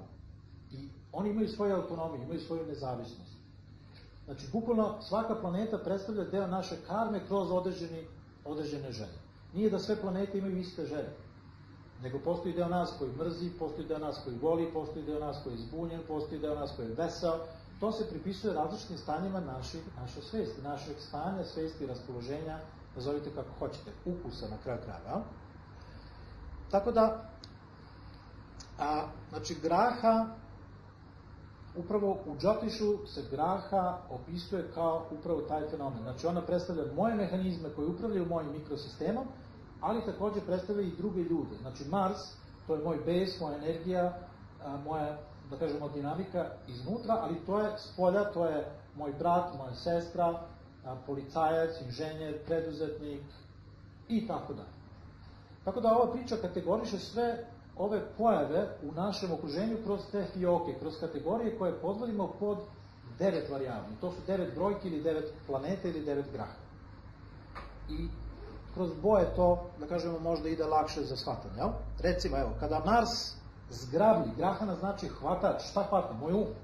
Znači, ja ulazim u stanje svesti. Šta hvata moj um? Mars, mi kažemo Mars. Nije to Mars na nebu. To je stanje svesti koje, u koje sam ja ušao. A šta je pozadine toga? To je neka moja, da kažemo, neki karmički obrazac, ima autonomni kompleks u psihologiji to zove, koji me odjednom ubaci. Zašto, kako, ne znam, jače od mene. Nije da ja hoću, nego se desi. I onda kažem, ja, da sam mogo da izbjegnem, izbjegnem. Da, to kažeš tek kad se desi. Ajde, izbjegni sad. E pa ne znam kako će da dođe. o tome se radi. Da, arhetipski, tako je. Jung je to zvao arhetipovi i tako dalje. Planete su u stvari nešto slično, ili grahe, bolje rečeno, su nešto slično arhetipovi. Tako, a šta je arhetip? To nije znak, simbol, to je iznad toga. To je... Prosto to je datost. Ja bih rekao da je to datost. Arhetip je datost. Arhetip oca, arhetip majke, spasitelja, to su sve datosti. To su, to su aksiomi. To se ne dokazuje, to je prosto datost. Mislim, zavisi koju terminologiju koristimo, naravno, da. Da. Tako je. Da li kako konkretno vidiš na natalnoj karti, recimo, kada Mars grabi našu glavu? Gde je Mars u kojoj kući, kako je to malo... Da, ako je recimo u petoj kući, to je kuća kreativne inteligencije, to je kuća dece i tako dalje. Ako ima Mars u kom znaku, zavisi da li je egzaltiran, da li je debilitiran, da li je ovako, da li je onako. Znači, kuća predstavlja, znači, planeta je sila, kuća je stanje moje svesti, moj aspekt života, peta kuća je recimo deca a znak u kome se nalazi je atmosfera u kontekstu u kome se to dešava. Znači, postoje tri stvari. Kontekst, mi smo kontekstualna bića. Postoji kontekst ili atmosfera, postoji moj aspekt svesti, to, su, to je moja peta kuća, moja deca, ili moje polje, vezano za decu, odnos sa decom, i postoji planeta ako se tu nalazi. Neki put da, neki put ne, može biti i prazno planeta. Ako se nađe Mars u pete kući, i ako je u lošem znaku, recimo debilitiran, to znači da on nema energiju. Znači, debilitacija znači on nema energiju da donese, da iznese tu energiju napolje, da, da, da, da iz nemanifestovanog manifestuje i da dobije energiju. I ne samo to, Mars koji je loš energetski, je loš za imanje dece, jer može da napravi problem ili da, da donese pobačaj, kiretažu ili problem sa imenjem dece. Znači Mars u petoj kući, pogotovo ako je loše smeštan, a generalno nije dobar za potomstvo i često ne daje potomstvo ili pravi problem, kiretaža, da kažemo problem ono, carski rez ili, spon, ili spontano i tako dalje. Ali uglavnom je svesno, da kažemo, svesna akcija u smislu pobačaja, na primjer. Na primjer. Uzeo sam primjer samo pete kuće Marsa i tako dalje. Tako da pete kuće je moje stanje svesti, moje, moj aspekt života koji se zove deca. I ja gledam, ok, šta je moje iskustvo vezano za decu iz prošlog života, s time sam se ja rodio, moj Mars je već u petoj kući kad se rađa. Odakle tu Mars? Kod mene u petoj, kod tebe u desetoj. Kako? Znači, ja sam to rođenje već doneo. A šta je bilo iza rođenja? E, o tome se radi. Tako da... se zna kauzalno šta je dobro? Zna, postoje, postoje podane karte. Tako je, postoje podane karte, ima 16 karata i ima svaka karta nešto znači, odatle se ulazi u trag kauzalitetu, uzroku, posledici i tako dalje. Natalna karta je samo mapa, da kažemo, neke karme s koje mi krećemo u ovom životu. Jer mi kad smo mali, ništa još se nije desilo, ali potencijal postoji. I natalna karta kaže, ovo je tvoj potencijal. Imaćeš toliko i toliko brakova, toliko i toliko dece, rođene, nerođene, a, imaš oca, majku, možda će živjeti ovoliko, ovoliko i tako dalje. Neke stvari su fiksne. Kako sam to pričao, postoji fiksna karma, fleksibilna i kombinacija fiksne i fleksibilna karma. Znači, ako tri ili više pokazatelja kažu iz raznih uglova posmatranja da je to velika verovatnoća da će to da se desi, onda ta karma će da se manifestuje kada dođe vreme za to. E sad, Đotiš kaže, postoje remedijalne mere, uradi pre nego što se nešto desi, da probaš da to amortizuješ, da balansiraš, da ublažiš efekat, pa možda, da kažemo, neće biti tako strašno. Doći će, ali bit će amortizovano i tako dalje, znači ublaženo, harmonizovano i tako dalje. I onda mi ne, ne osetimo to toliko strašno. Ali ako nespremno dočekamo taj intenzitet koji dolazi kao neki tsunami, to, ne, to kad nas udari, prosto tako ljudi stradaju. Nije da čovjek hoće da pogine, nego pogine. I nije da on to hteo. On je uradio sve sve za njega, ali ovaj ga udario idući u susret. Kako to? Ovaj bio oprezan, vozio, međutim nije on kriv. Kriv je ovaj, prešao je njegovu stranu. I kako ćemo sad to dovesti? Znači, postoji sve, da kažemo, uzročno-posledična, da kažemo, neka priča. To je upravo ta fiksna karma koju mi ne možemo da izbegnemo. Uradimo sve što je do nas i opet se desi. To znači da nije do nas. Izvinite, Da, iz vaše konkretne prakse, Da. da li postoje primjeri gde je upotrebom znači, leka, Da. remedija, došlo do značajnijeg ublažavanja karme? jest. U smislu život, smrt, znači ekstremni slučajevi, ozbiljna karma. Ali ne možemo mi kad pričamo o životu i smrti, niko ne, ne priča, e, aj mi reci kad će da pogine. Na primjer, niko ne dolazi s tim pitanjem. Kaže, reci mi kako da, ne znam, bolje ovo ili kako bolje ono i tako dalje. Da li ste vi prepoznali upotrebu leka u nekoj konkretnoj situaciji i negde videli matricu Apsolutno. gde se desilo skretanje te apsolut, češke karme? apsolutno, recimo, ima konkretnih primjera sa mantrama. Mantre su slične molitvama, ali drugačije. Znači, mantre su obrazci, da kažemo, koji nisu koncept uma, nego su datost i sastavljeni su od Božjih imena. I kad mi ponavljamo te mantre, mi u stvari izvlačimo naš um iznad blata uslovljenosti. Jel? I radeći te mantre, pozivamo se na višu instancu, više inteligencije koje od ozgo, da kažemo, upravlja. I kada se rade te mantre, recimo, ljudi su ono, idu jedan drugom u susret u kolima i neposredno pred sudar vide da nema šta da, da, da više šta i krene da recituje mantru jer se seti iz nekog razloga da treba da recituje mantru recimo za Nara Sinhadeva. Om namo bhagavate Nara Sinhaya. I desi se sudar, on izleti kroz šokve šarnu, padne, prevrne se, ustane i ništa. Dešavalo se iz, iz konkretnih Kako mi situacija. Srbi ne znamo tu?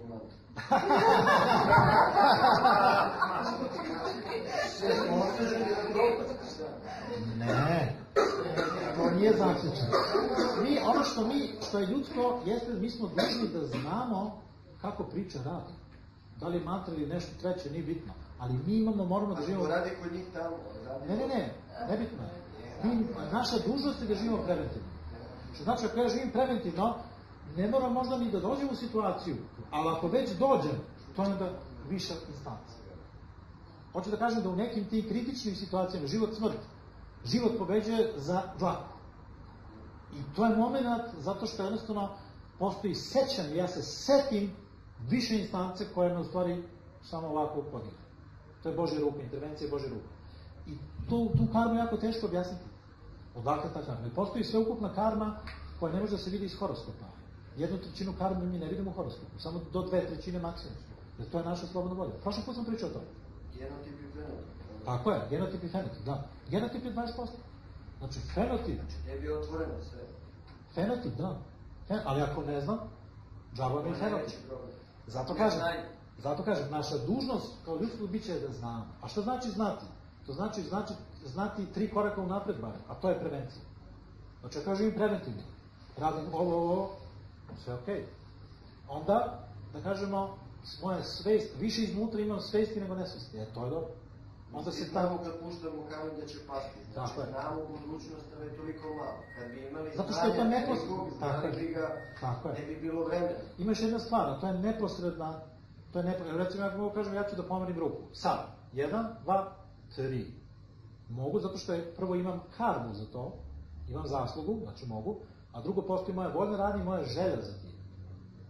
I postoji, da kažemo, direktiva, postoji instrukcija. Ali šta je da ja nemam karmu za to? Ja mogu da želim koliko hoću da pomerim ruku, neće se pomeriti. E, to ne zavisi od mene, to zavisi od Boga. Znači, Bog plus ja, jednako slobodno volja. Prošli put sam pričao o tome. Nismo? 100 evra, da, pravo. Prošli put sam pričao o tome, pogledajte video. Pogledajte video, slobodno. Ima sve objašnjeno u toj lekciji.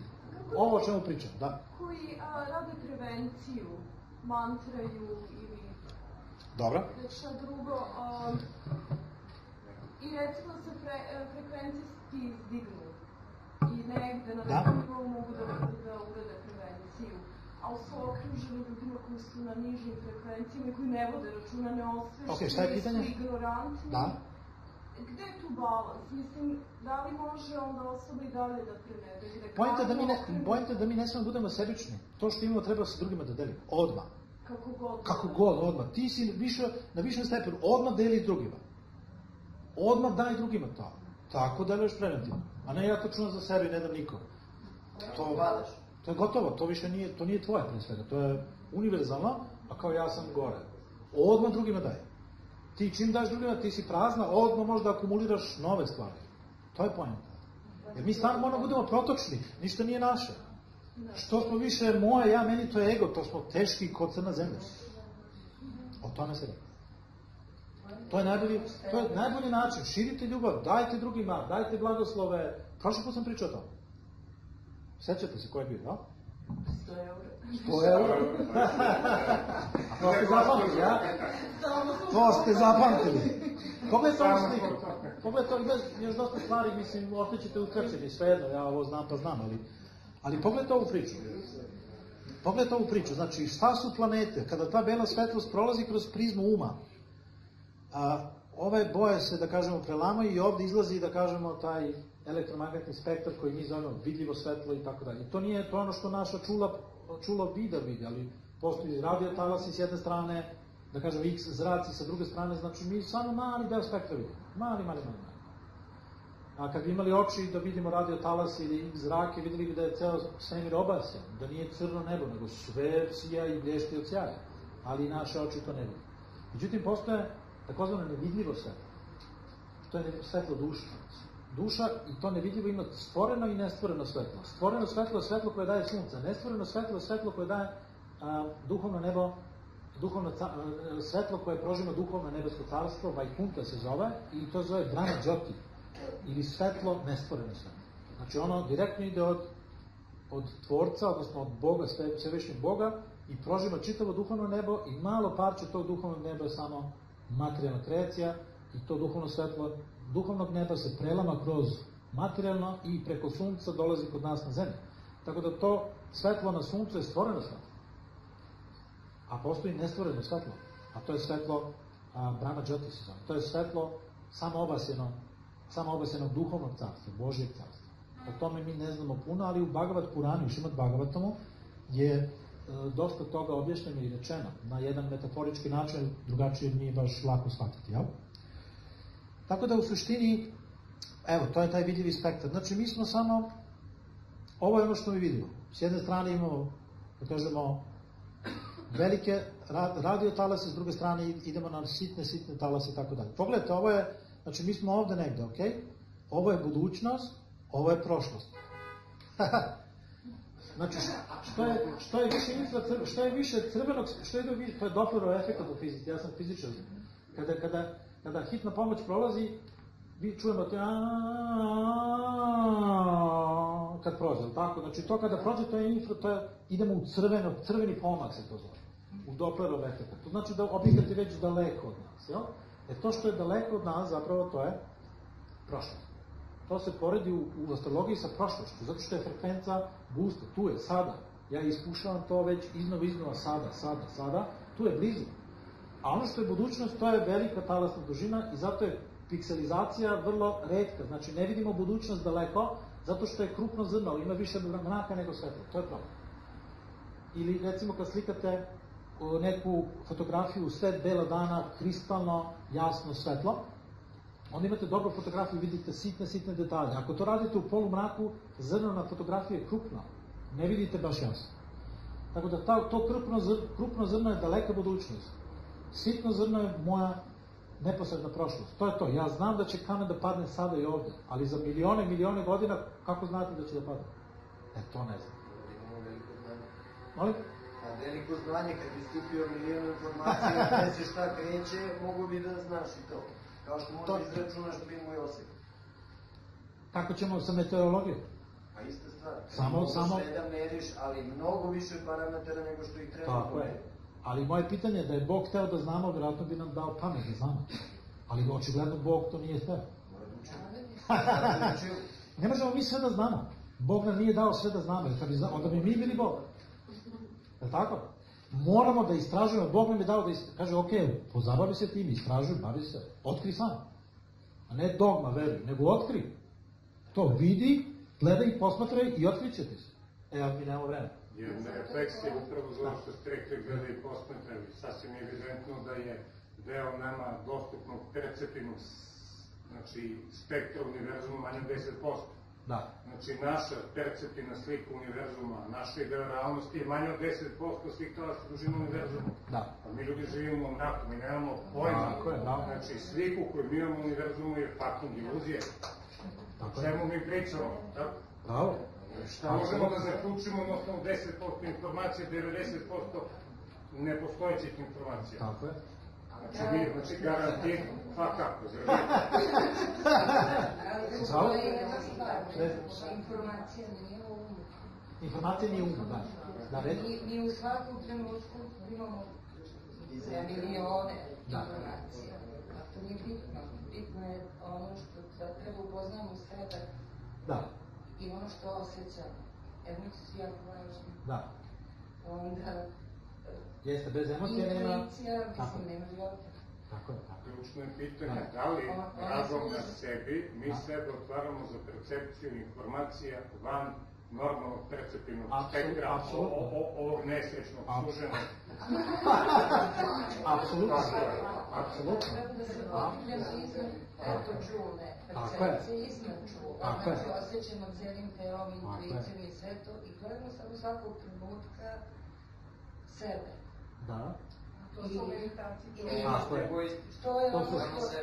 Ne, sebe u svom pravom svetlu. Ne sebe kao ego, jel? nego sebe kao pravo ponoviš Ne možeš gledati samo sebe, moraš celokupnu sliku gledati. Sve nas ovde. Ima jedna lepa analogija. I To, ja sam vas možda ne veram. Ako ja nisam ovde, vi biste bili spokojni.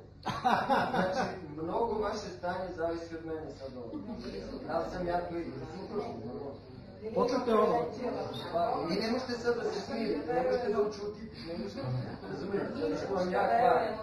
Tako Pogledajte da- sliku, molim te lepo. Pogledajte ovu sliku. Ovo su vam planete, mi ovako ne percipiramo, ali fotografija je jako dobar mehanizam da vidimo kako planete su svuda oko nas, kroz boje. Mi ove tragove ne vidimo samo kada je ekspozicija produžena. Žuta boja je Jupiter, crvena boja je Mars, plava boja je Saturn, Venera svetlo plava, zelena Merkur i tako dalje. To su planete, znači tada vidimo u zamrznutoj toj fotografiji taj produženi spektar, tu je on, znači spektar je stalno sa nama. Mi smo okruženi bojama, okruženi smo tim elektromagnetnim spektrom. To su planete, to su grafije, to nije nebo. Nebo je svuda, hello? Pa nebo je i ovde i, i kilometrima, pa to je sve nebo. Ono sve prožima, kako je sad nešto tamo, nešto ovde, zašto, kako? Ne, sve je tu sada sa nama. Ja samo pokušavam da vam približim ovaj mehanizam. To ne mogu ja da vam kažem šta jeste do kraja. To nije moj, moja... Samo da vas ohrabrim da istražujete dalje. Ovo su intrigantne stvari, ja ovo izučavam godinama. I opet ništa ne I opet ništa ne znam. Opet ništa. Ja sam to rekao i prošli put. Ja sam krenuo svoje predavanje prošli put. Znam da ništa ne znam. Ali, ali, ovo je ono što ja mogu da podelim s vama i ostavljam vama dalje, poradite dalje. Svako, je, svako treba da, da istražuje. Nema ovde kona, nema konačnih e, rešenja, ne postoji to. Zašto? Zato što je energija gospoda je beskonačna. Ja mogu da napišem, prošli put sam na- napravio a, primer. Uzmem čašu i, i sad pravim doktorat na temu čaše. Napišem jednu knjigu, drugu, deset knjiga napišem o čaši i šta sam rekao? Ništa. I onda dođe neko kaže, pa to je Božja energija. Kažem, ja, hvala. To je istina. Zato što mi kroz filter uma deskriptivno opisujemo stvarnost. Ali to je filter uma, to nije istina. Kako mi se nešto čini. Jer to je to. Maja, iluzija bača, basa čini, pa mi se čini, pa onda mi činimo. A, znači mi smo opčinjeni iluzijom, pa mi se učili, pa dalje učini. I tu je catch. To ako uspemo da prevaziđemo, više mi se ne čini. Da smo izmanipulisani. Čini mi se vekovima. Vuk sa ovcem nešto ima. Jel okej ovo? Pogledajte ovo, Merkur. Ovo je Merkur, evo ga Merkur. Zelena boja Merkur. To su planete. da. O tome se radi. Znači, mi smo okruženi bezbrojnim dimenzijama i svetovima kroz utice razne, razne, razne. Znači, naravno, Ovo je čisto da vam približim. Znači, šta je sunce? Koliko ima vremena još, izvinjam se? Nema vremena, okej. Tek smo došli. Pa nema vremena, pa stvarno nema vremena. Dođite ovde slobodno poslikajte. Mislim, E, pogledajte ovo, šta je sunce, šta je mesec, šta je Mars, šta je Merkur, šta je Jupiter, šta je Venera, šta je Saturn, šta je Rahu, šta je Ketu? Nema Neptun, zato što vedska astrologija, e, naša karma ljudska ide do orbite Saturna, preko toga nema potrebe. To je Narayana, to je nešto što je beskonačno. Pluton ništa. Nema, nema, nema. Čvorovi karmički zamenjuju, zamenjuju te, da kažemo, a, a, generacijske planete, Pluton, Neptun, Uran. To su, kroz čvorove je to reflektovano u džapešu. Znači, nema potrebe za tim. To su rafi keteri. Rafike, da. Jer nema potrebe, mi sve opisujemo sa 10 prstiju. Nema potrebe za više od toga. Sve, sve preko toga je ponavljanje. 11 dvojka, 12 trojka. To je opet decimalni sistem. Znači, sve opisujemo sa 9 brojki i nulom. Mi smo nula. Mi smo ascendent, mi smo nula. Mi smo nula, da kažemo, deo beskonačnosti. I svi njeni delovi su jednaki celini, nuli. Sama nula je nula. Znači, mi smo u stvari božansko koje je došlo ovde da projektuje svoje želje na, kroz varijable, kroz aspekte na polje delovanja koje mi zovemo materijalna stvarnost. I to je sve što se dešava. Kad ugasim svetlo, nema ničega. Zapravo. U, to je mokše, to je prosvetljenje, oslobođenje i tako dalje. Ali dok smo ovde, mi smo po to i došli. Znači, da ispunimo tu karmu, da ispunimo te želje. I to je glavno pitanje, kako da ispunimo to? Prošli put sam rekao, kroz ukus. Ako otkrijem viši ukus, automatski niži ukus odlazi. Kako znam da je nešto viši ukus, a nešto niži ukus? Pa kažem, mmm, ovo je ukusnije nego ono što sam probao. E, tako. A kako je to da, da, da, da li je to objektivno? Pa nije. Ali ako ja probam isti kolač, vi probate, vi probate, kažemo, ovo je stvarno bolje od svega što smo probali. Znači imamo konsenzus. Karma, istina je ono da imamo konsenzus. To je moj zaključak lični. Šta je istina? Konsenzus je istina, da postoje razne realiteti. Rad, kad spavam, juri me tigar, to je istina. Kad se probudim, ja, pa, gladan sam, i to je istina. Pa šta je istina? Tamo da je konsenzus. Tamo da je, da kažemo, skup kumulativnih obrazaca koji su sazreli da, da se desi. To je istina. Tu da je fokus svesti, kada neko udari ovde, a, istina, cela moja svest je tu. Ne vidim ja vas više. Samo bol i kolena. A, i onda kad popusti, aha, tu ste, ok, dobar dan. To je istina. Znači, istina je, kako bi rekao, stanje svesti, fokus. Tako da planete upravo hvataju, grabe nas, raze, ruke, noge, glas, želje, sve, sve to, da kažemo, jedan mehanizam s kojim se mi poistovećujemo. To je sve. Ruke, noge. Zašto samo ima ruka? Zašto moram da radi rukama? Ajde, vežite mi ruke. Ajde da prestanem da pričam. Da prestanem da jedem, da prestanem da dišem. Pa može? Pa ne može. Pa kako da prestanem da vršim karmu? e, to je neka druga tema, možda nekom sledećem priliku. Tako da to su vam planete, to su grahe, ništa drugo. Raspoređene po poljima, po, da kažemo, nekim obrazcima karmičkim, to je sve. Postoje malefične planete, znači postoji mračni deo nas i postoji oni, one dobre planete, one benefični deo nas. I preko nas se prepucavaju sile svetla i sile mraka, gornji i donji svetovi, preko čakri, preko hiljade stvari. Tako da, mi smo u centru, svako je u centru univerzuma, ne postoji centar univerzuma, ja, svako je centar univerzuma. Apsolutno. Znači, ne moram nigde ja da idem da bi otkrio šta je svemir. Moram da uđem u sebe. I metoda ili sistem koji mi to pomaže se zove yoga. Prema tome, yoga je link između makro i mikro svemira, a ne kvantna fizika ili ne znam šta. Jer oni nikad neće doći do konsenzusa. Ne postoji konsenzus. Sa nivoa uma, sa nivoa logike, to je limit, postoji limit. Jedino je duša van limita. Što znači, ako nađem sebe, znači duša, mi smo link između neba i zemlje. Mi. I to je princip agni, vatre. Duša ima energiju svetla i, i vatre, ali nema energiju tamas. Nema energiju uništenja. Duša nema uništenja. Ego ima uništenja. Tako da mi kada zamenimo, da kažemo pravu svest za lažni ego, automatski sa tim ide i prati na senke ili uništenje ili greh. I to je greh. Koncept uništenja. Zašto moram da umrem ako sam večer? Hello? Pa to nije prirodno ljudi. Ja kad sam bio mali, pa razmišljam, pa, pa nije prirodno da umrem. Kako? Kako da me više nema? Nema što tako. Pa to nije fair. Pa nema smisla. Kako? Zašto? Gde? Ne može to tako.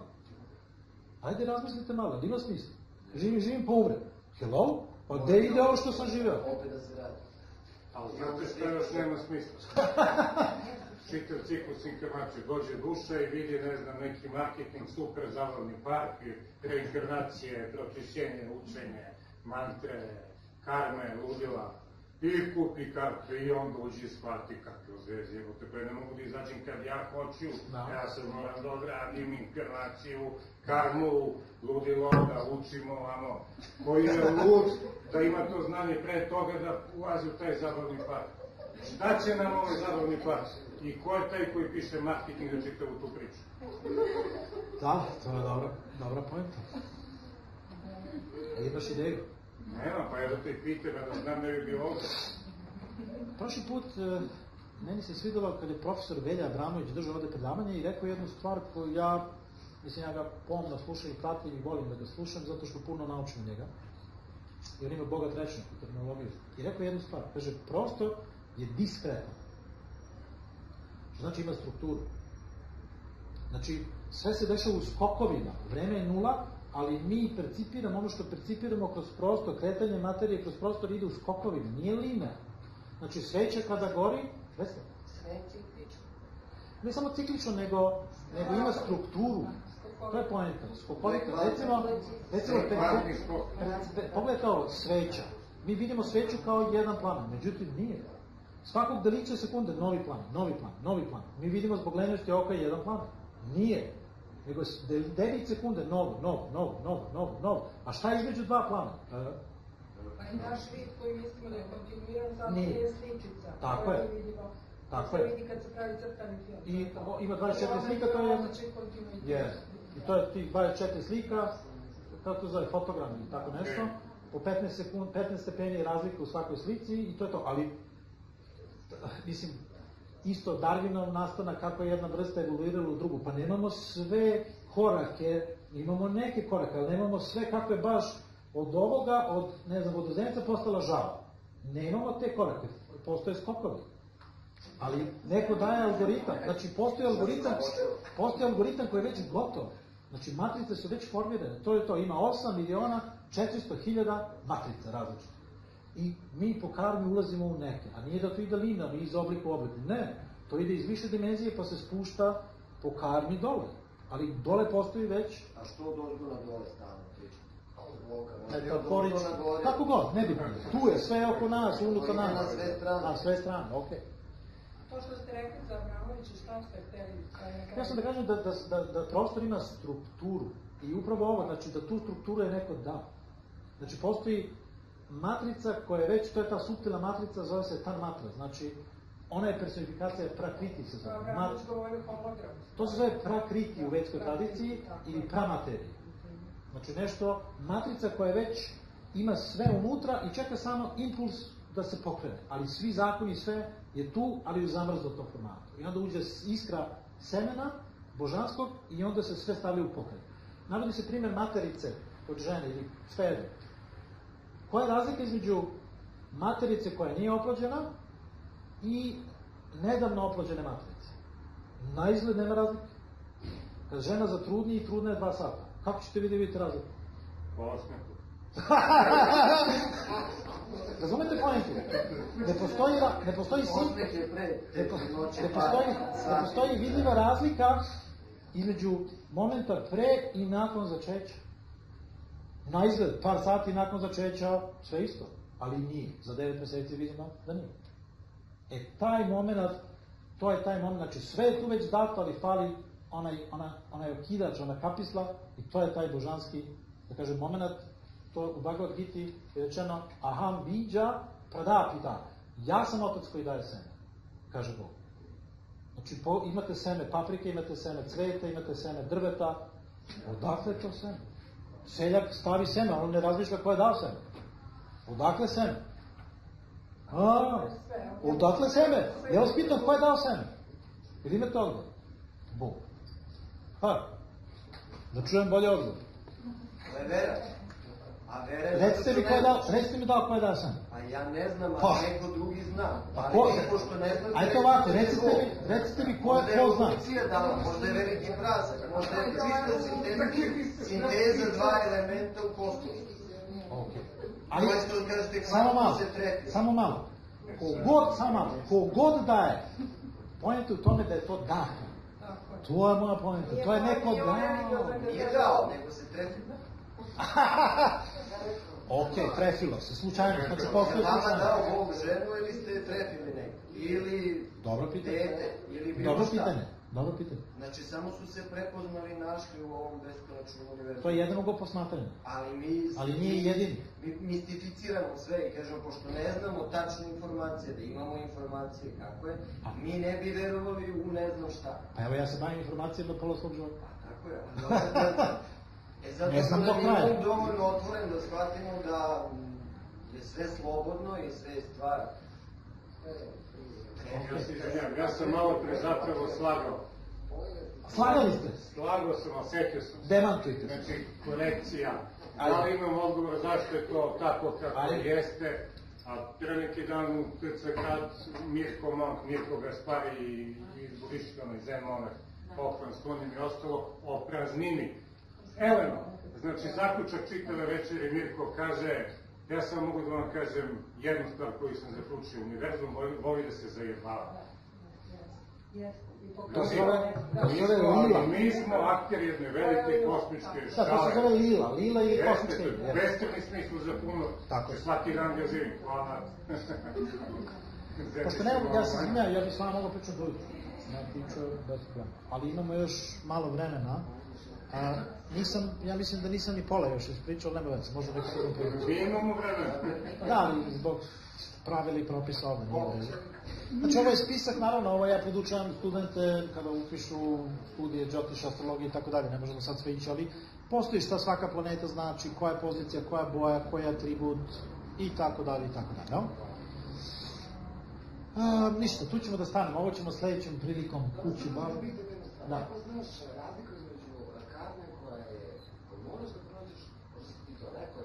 Па не, врло едноставно, морам да дишам. Например, некој има болест. Тоа не мора да абортира, а мора да дишам. Дали тоа правилно те дете да се гледа или тоа нова? И едно и друго. Е споено преко ентитета кој се зове осет. Да, да, да. Како мислиш? Тоа е карма те мајка и тоа е карма тог ентитета, кој не треба да се роди.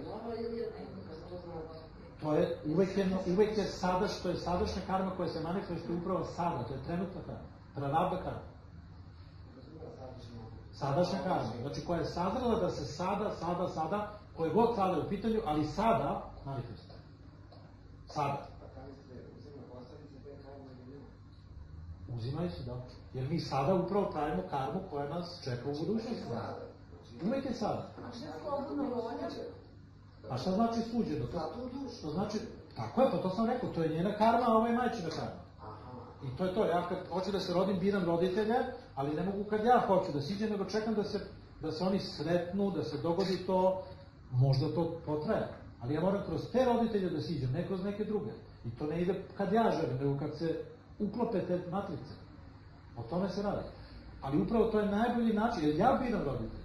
Zato što sam birao tu karmu za ovaj život, jer iz te pozicije gore, hyperspace, nazovite kako hoćete, nama je sve očigledno, duša je jedna i sve vidi, i svi kaže, hoću.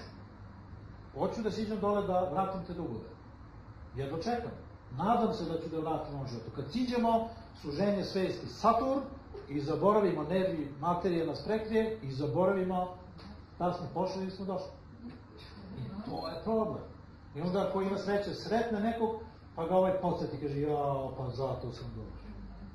Ali neko nema tu sreću. A onda malo kasnije kaže, ja, ovako sam i zato. Neki metod da se prispitimo. Ima bezbroj metoda, ali najbolji metod je da se prisetimo da... Aj se Pos- vrati prethodnu sliku pa pričamo. Aha, izvini. Ti je će da studira čataš. E, metod da se prisetimo kosma. Kroz zvuk. Kako se zove? Kako se zove? Ana. Ako te ja zovem Anka, ako te zovem Anica, Ana, a ti kažeš, ja, jasno. Znači, Kad te pozovem po imenu ili prezimenu, ti se okreneš, zato što preko zvuka, čak i da spavaš, ja te probudim. Ali ima jedna poenta, znači zvuk, mantra, molitva, šta već, unupu, unutre, ali ide kroz proces zvuka, mantra i tako dalje. Evo, osvestimo sećanje konkretno kao... Apsolutno, što više, pravo je naveo primjer kada stavim šipku gvozdenu u vatru, vremenom to postaje vatra, više nije šipka. Znači, moramo jedno vreme da provedemo sa, u procesu sazrevanja, sazrevanja, sazrevanja, sazrevanja i to treba vreme. Jabuka kad je zrela sama pada. Znači, to je vreme stoji iza toga. To ne ide kad ja želim. Danas posadim, sutra jedan. Ne može. Kako? Gde to ima? Ne postoji to. Znači, to je kako mali perica zamišlja. Ne. Nego je pojent u tome da jednostavno kroz zvuk. Ja i kad spavam, može neko da me probudi ako, ako, se, ako, mi, ako me pozove po imenu. Pa čak i ako me ne pozove po imenu, ne, nebitno, ali zvukom me probudi. I to je to. Ja se setim kao sam. Wow, hvala ti. Je li tako? Ali recimo, znate koga je najteže probuditi? Nekoga ko se pretvara da spava. E, njega ćete teško da dignete iz kreveta, neće da ustane. Nema šanse. On je budan, ali neće da ustane. Imitira da spava. E, ti koji imitiraju da spavaju, njih ćete teško da probudite, jer oni neće da se osvestiti da, da spavamo. Tako je. Znači, moramo da osvestimo razlog zbog koga smo tu gde jesmo. Kada to osvestimo mehanizam kako smo došli, lako izlazimo odatle. Mislim, lako, u smislu proces. Znači, na, podesimo se, to je taj put, i idem dok ne, ne izađem. Ali nezgodno je kad ne znam gde da krenem. To je problem, to je rahu, to je sumnja. Da li da idem levo, da li da idem gore, da li da idem dole, da li da idem levo, da li da idem mami pod suknju. Gde da idem? E, tu prođe jedan život, drugi život, hiljade života, čovjek ne zna šta hoće. Isus je rekao, prosti im Bože, ne znaju šta rade, ne znaju šta hoće. E, kad bi mi znali šta hoćemo, gde bi nam kraj bio? Ne znamo ni šta hoćemo, ni šta nećemo. Ja sam prošli put, napravim neki, neki put napravim, da kažemo, pitam ljude, biste volili da živite večno? Da, ne? Da. Ali u ovom telu? Ne. Bilo kako. Ali telo ima svoj limit. I obično ljudi kažu, ma ne, pa to hoće. Onda recimo, ok, 500 godina, uf, puno. A jedno 150, pa i to je puno. Aj, koliko bi da živiš? Pa jedno 70 godina, ok. I recimo, prođe 70 godina, puc, puc, došlo je vreme da ideš. Ja, nemoj sad. Sad je najbolji moment u životu. Unuci porasli, super, dobro se osjećam, imam planove. Ajde, dođi za 5 godina, smrt. Kuc, kuc, za 5 godina, aj sad. Ja, nemoj sad, baš je... Hello? Da li smo ti večan život nisi teo? 500 godina ti ne odgovara, 150, tebi smo rekli koliko hoćeš, ni to nećeš. Pa šta hoćeš? E, to je mehanizam kako naš um radi. Danas ovako, sutra onako, prekotra nikako. I tako u krug. I tome nema kraja. I to je priča štapa i šagarepa. I moramo da shvatimo da je to priča i ništa drugo. To je samo, to je samo priča, to je samo priča, to nema, to nema substancu. Nema opipljivu substancu, to je priča, mi živimo od priča, kroz priče, a mi, to je to sve paradigma, od malih nogu su nam pričali priče i to je ono što mi danas verujemo, šta drugo. I na televiziji, i u okruženju, i na studijama slušamo priče. Koji, jeste videli ikada atom? Jeste videli srce svoje? Jeste videli mozak svoj? To su priče ljudi. Pa da, ali posredno jesmo, a direktno? Neko direktno nismo pa to, posredno. Drugim rečima, mi posredno percipiramo stvarnost. I zato se ova stvarnost zove fenomen, fenomenalni svet. Ovo je svet fenomena. Znate zašto? Zato što mi stalno kaskamo za istinu. Mi istinu gledamo uvek sa distance prošlosti. 5 minuta, 5 minuta, 10 sekundi. A znači, se nivo posrednosti da. tek povećava sa televizijom i raznim mobilnim. Recimo. Znači, to je već na stoti put. Ali ne samo to, bravo, hvala vam. To znači da mi smo i onu svoju osnovnu, neposrednu, nesavršenu viđenje stvarnosti eliminisali zahvaljujući ovim, ovoj tehnologiji koja nas faktički udaljava. Bravo. A i ne samo to, kada mi slušamo vesti, da. pa to nisu vesti sada.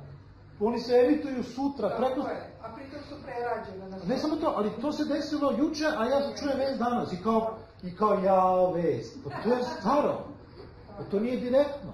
Pa to je pase, prošlo. Vest je ovo što ja sad slušam, vas i Ovo je direktno, da, tako je. A ovo je sve posredno.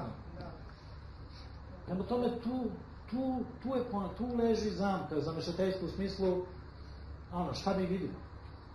I to je, da kažemo, pitanje svih pitanja. Hvala na pažnji, bili ste divni, hvala na, na učešću. A, neko nisam sve završio. da bi bio nastavak, morate dođete u istom sastavu. Inače, teško, ako ovo nastaviš...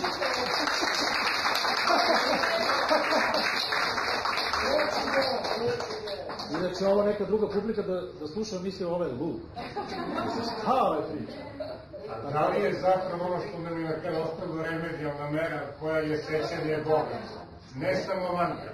Da, da, da. Sećanje, da, se, da se setimo. Pitanje je da se Seti setimo. se menadžmenta. Tako je, samo da se setimo. Tako je. Šta god.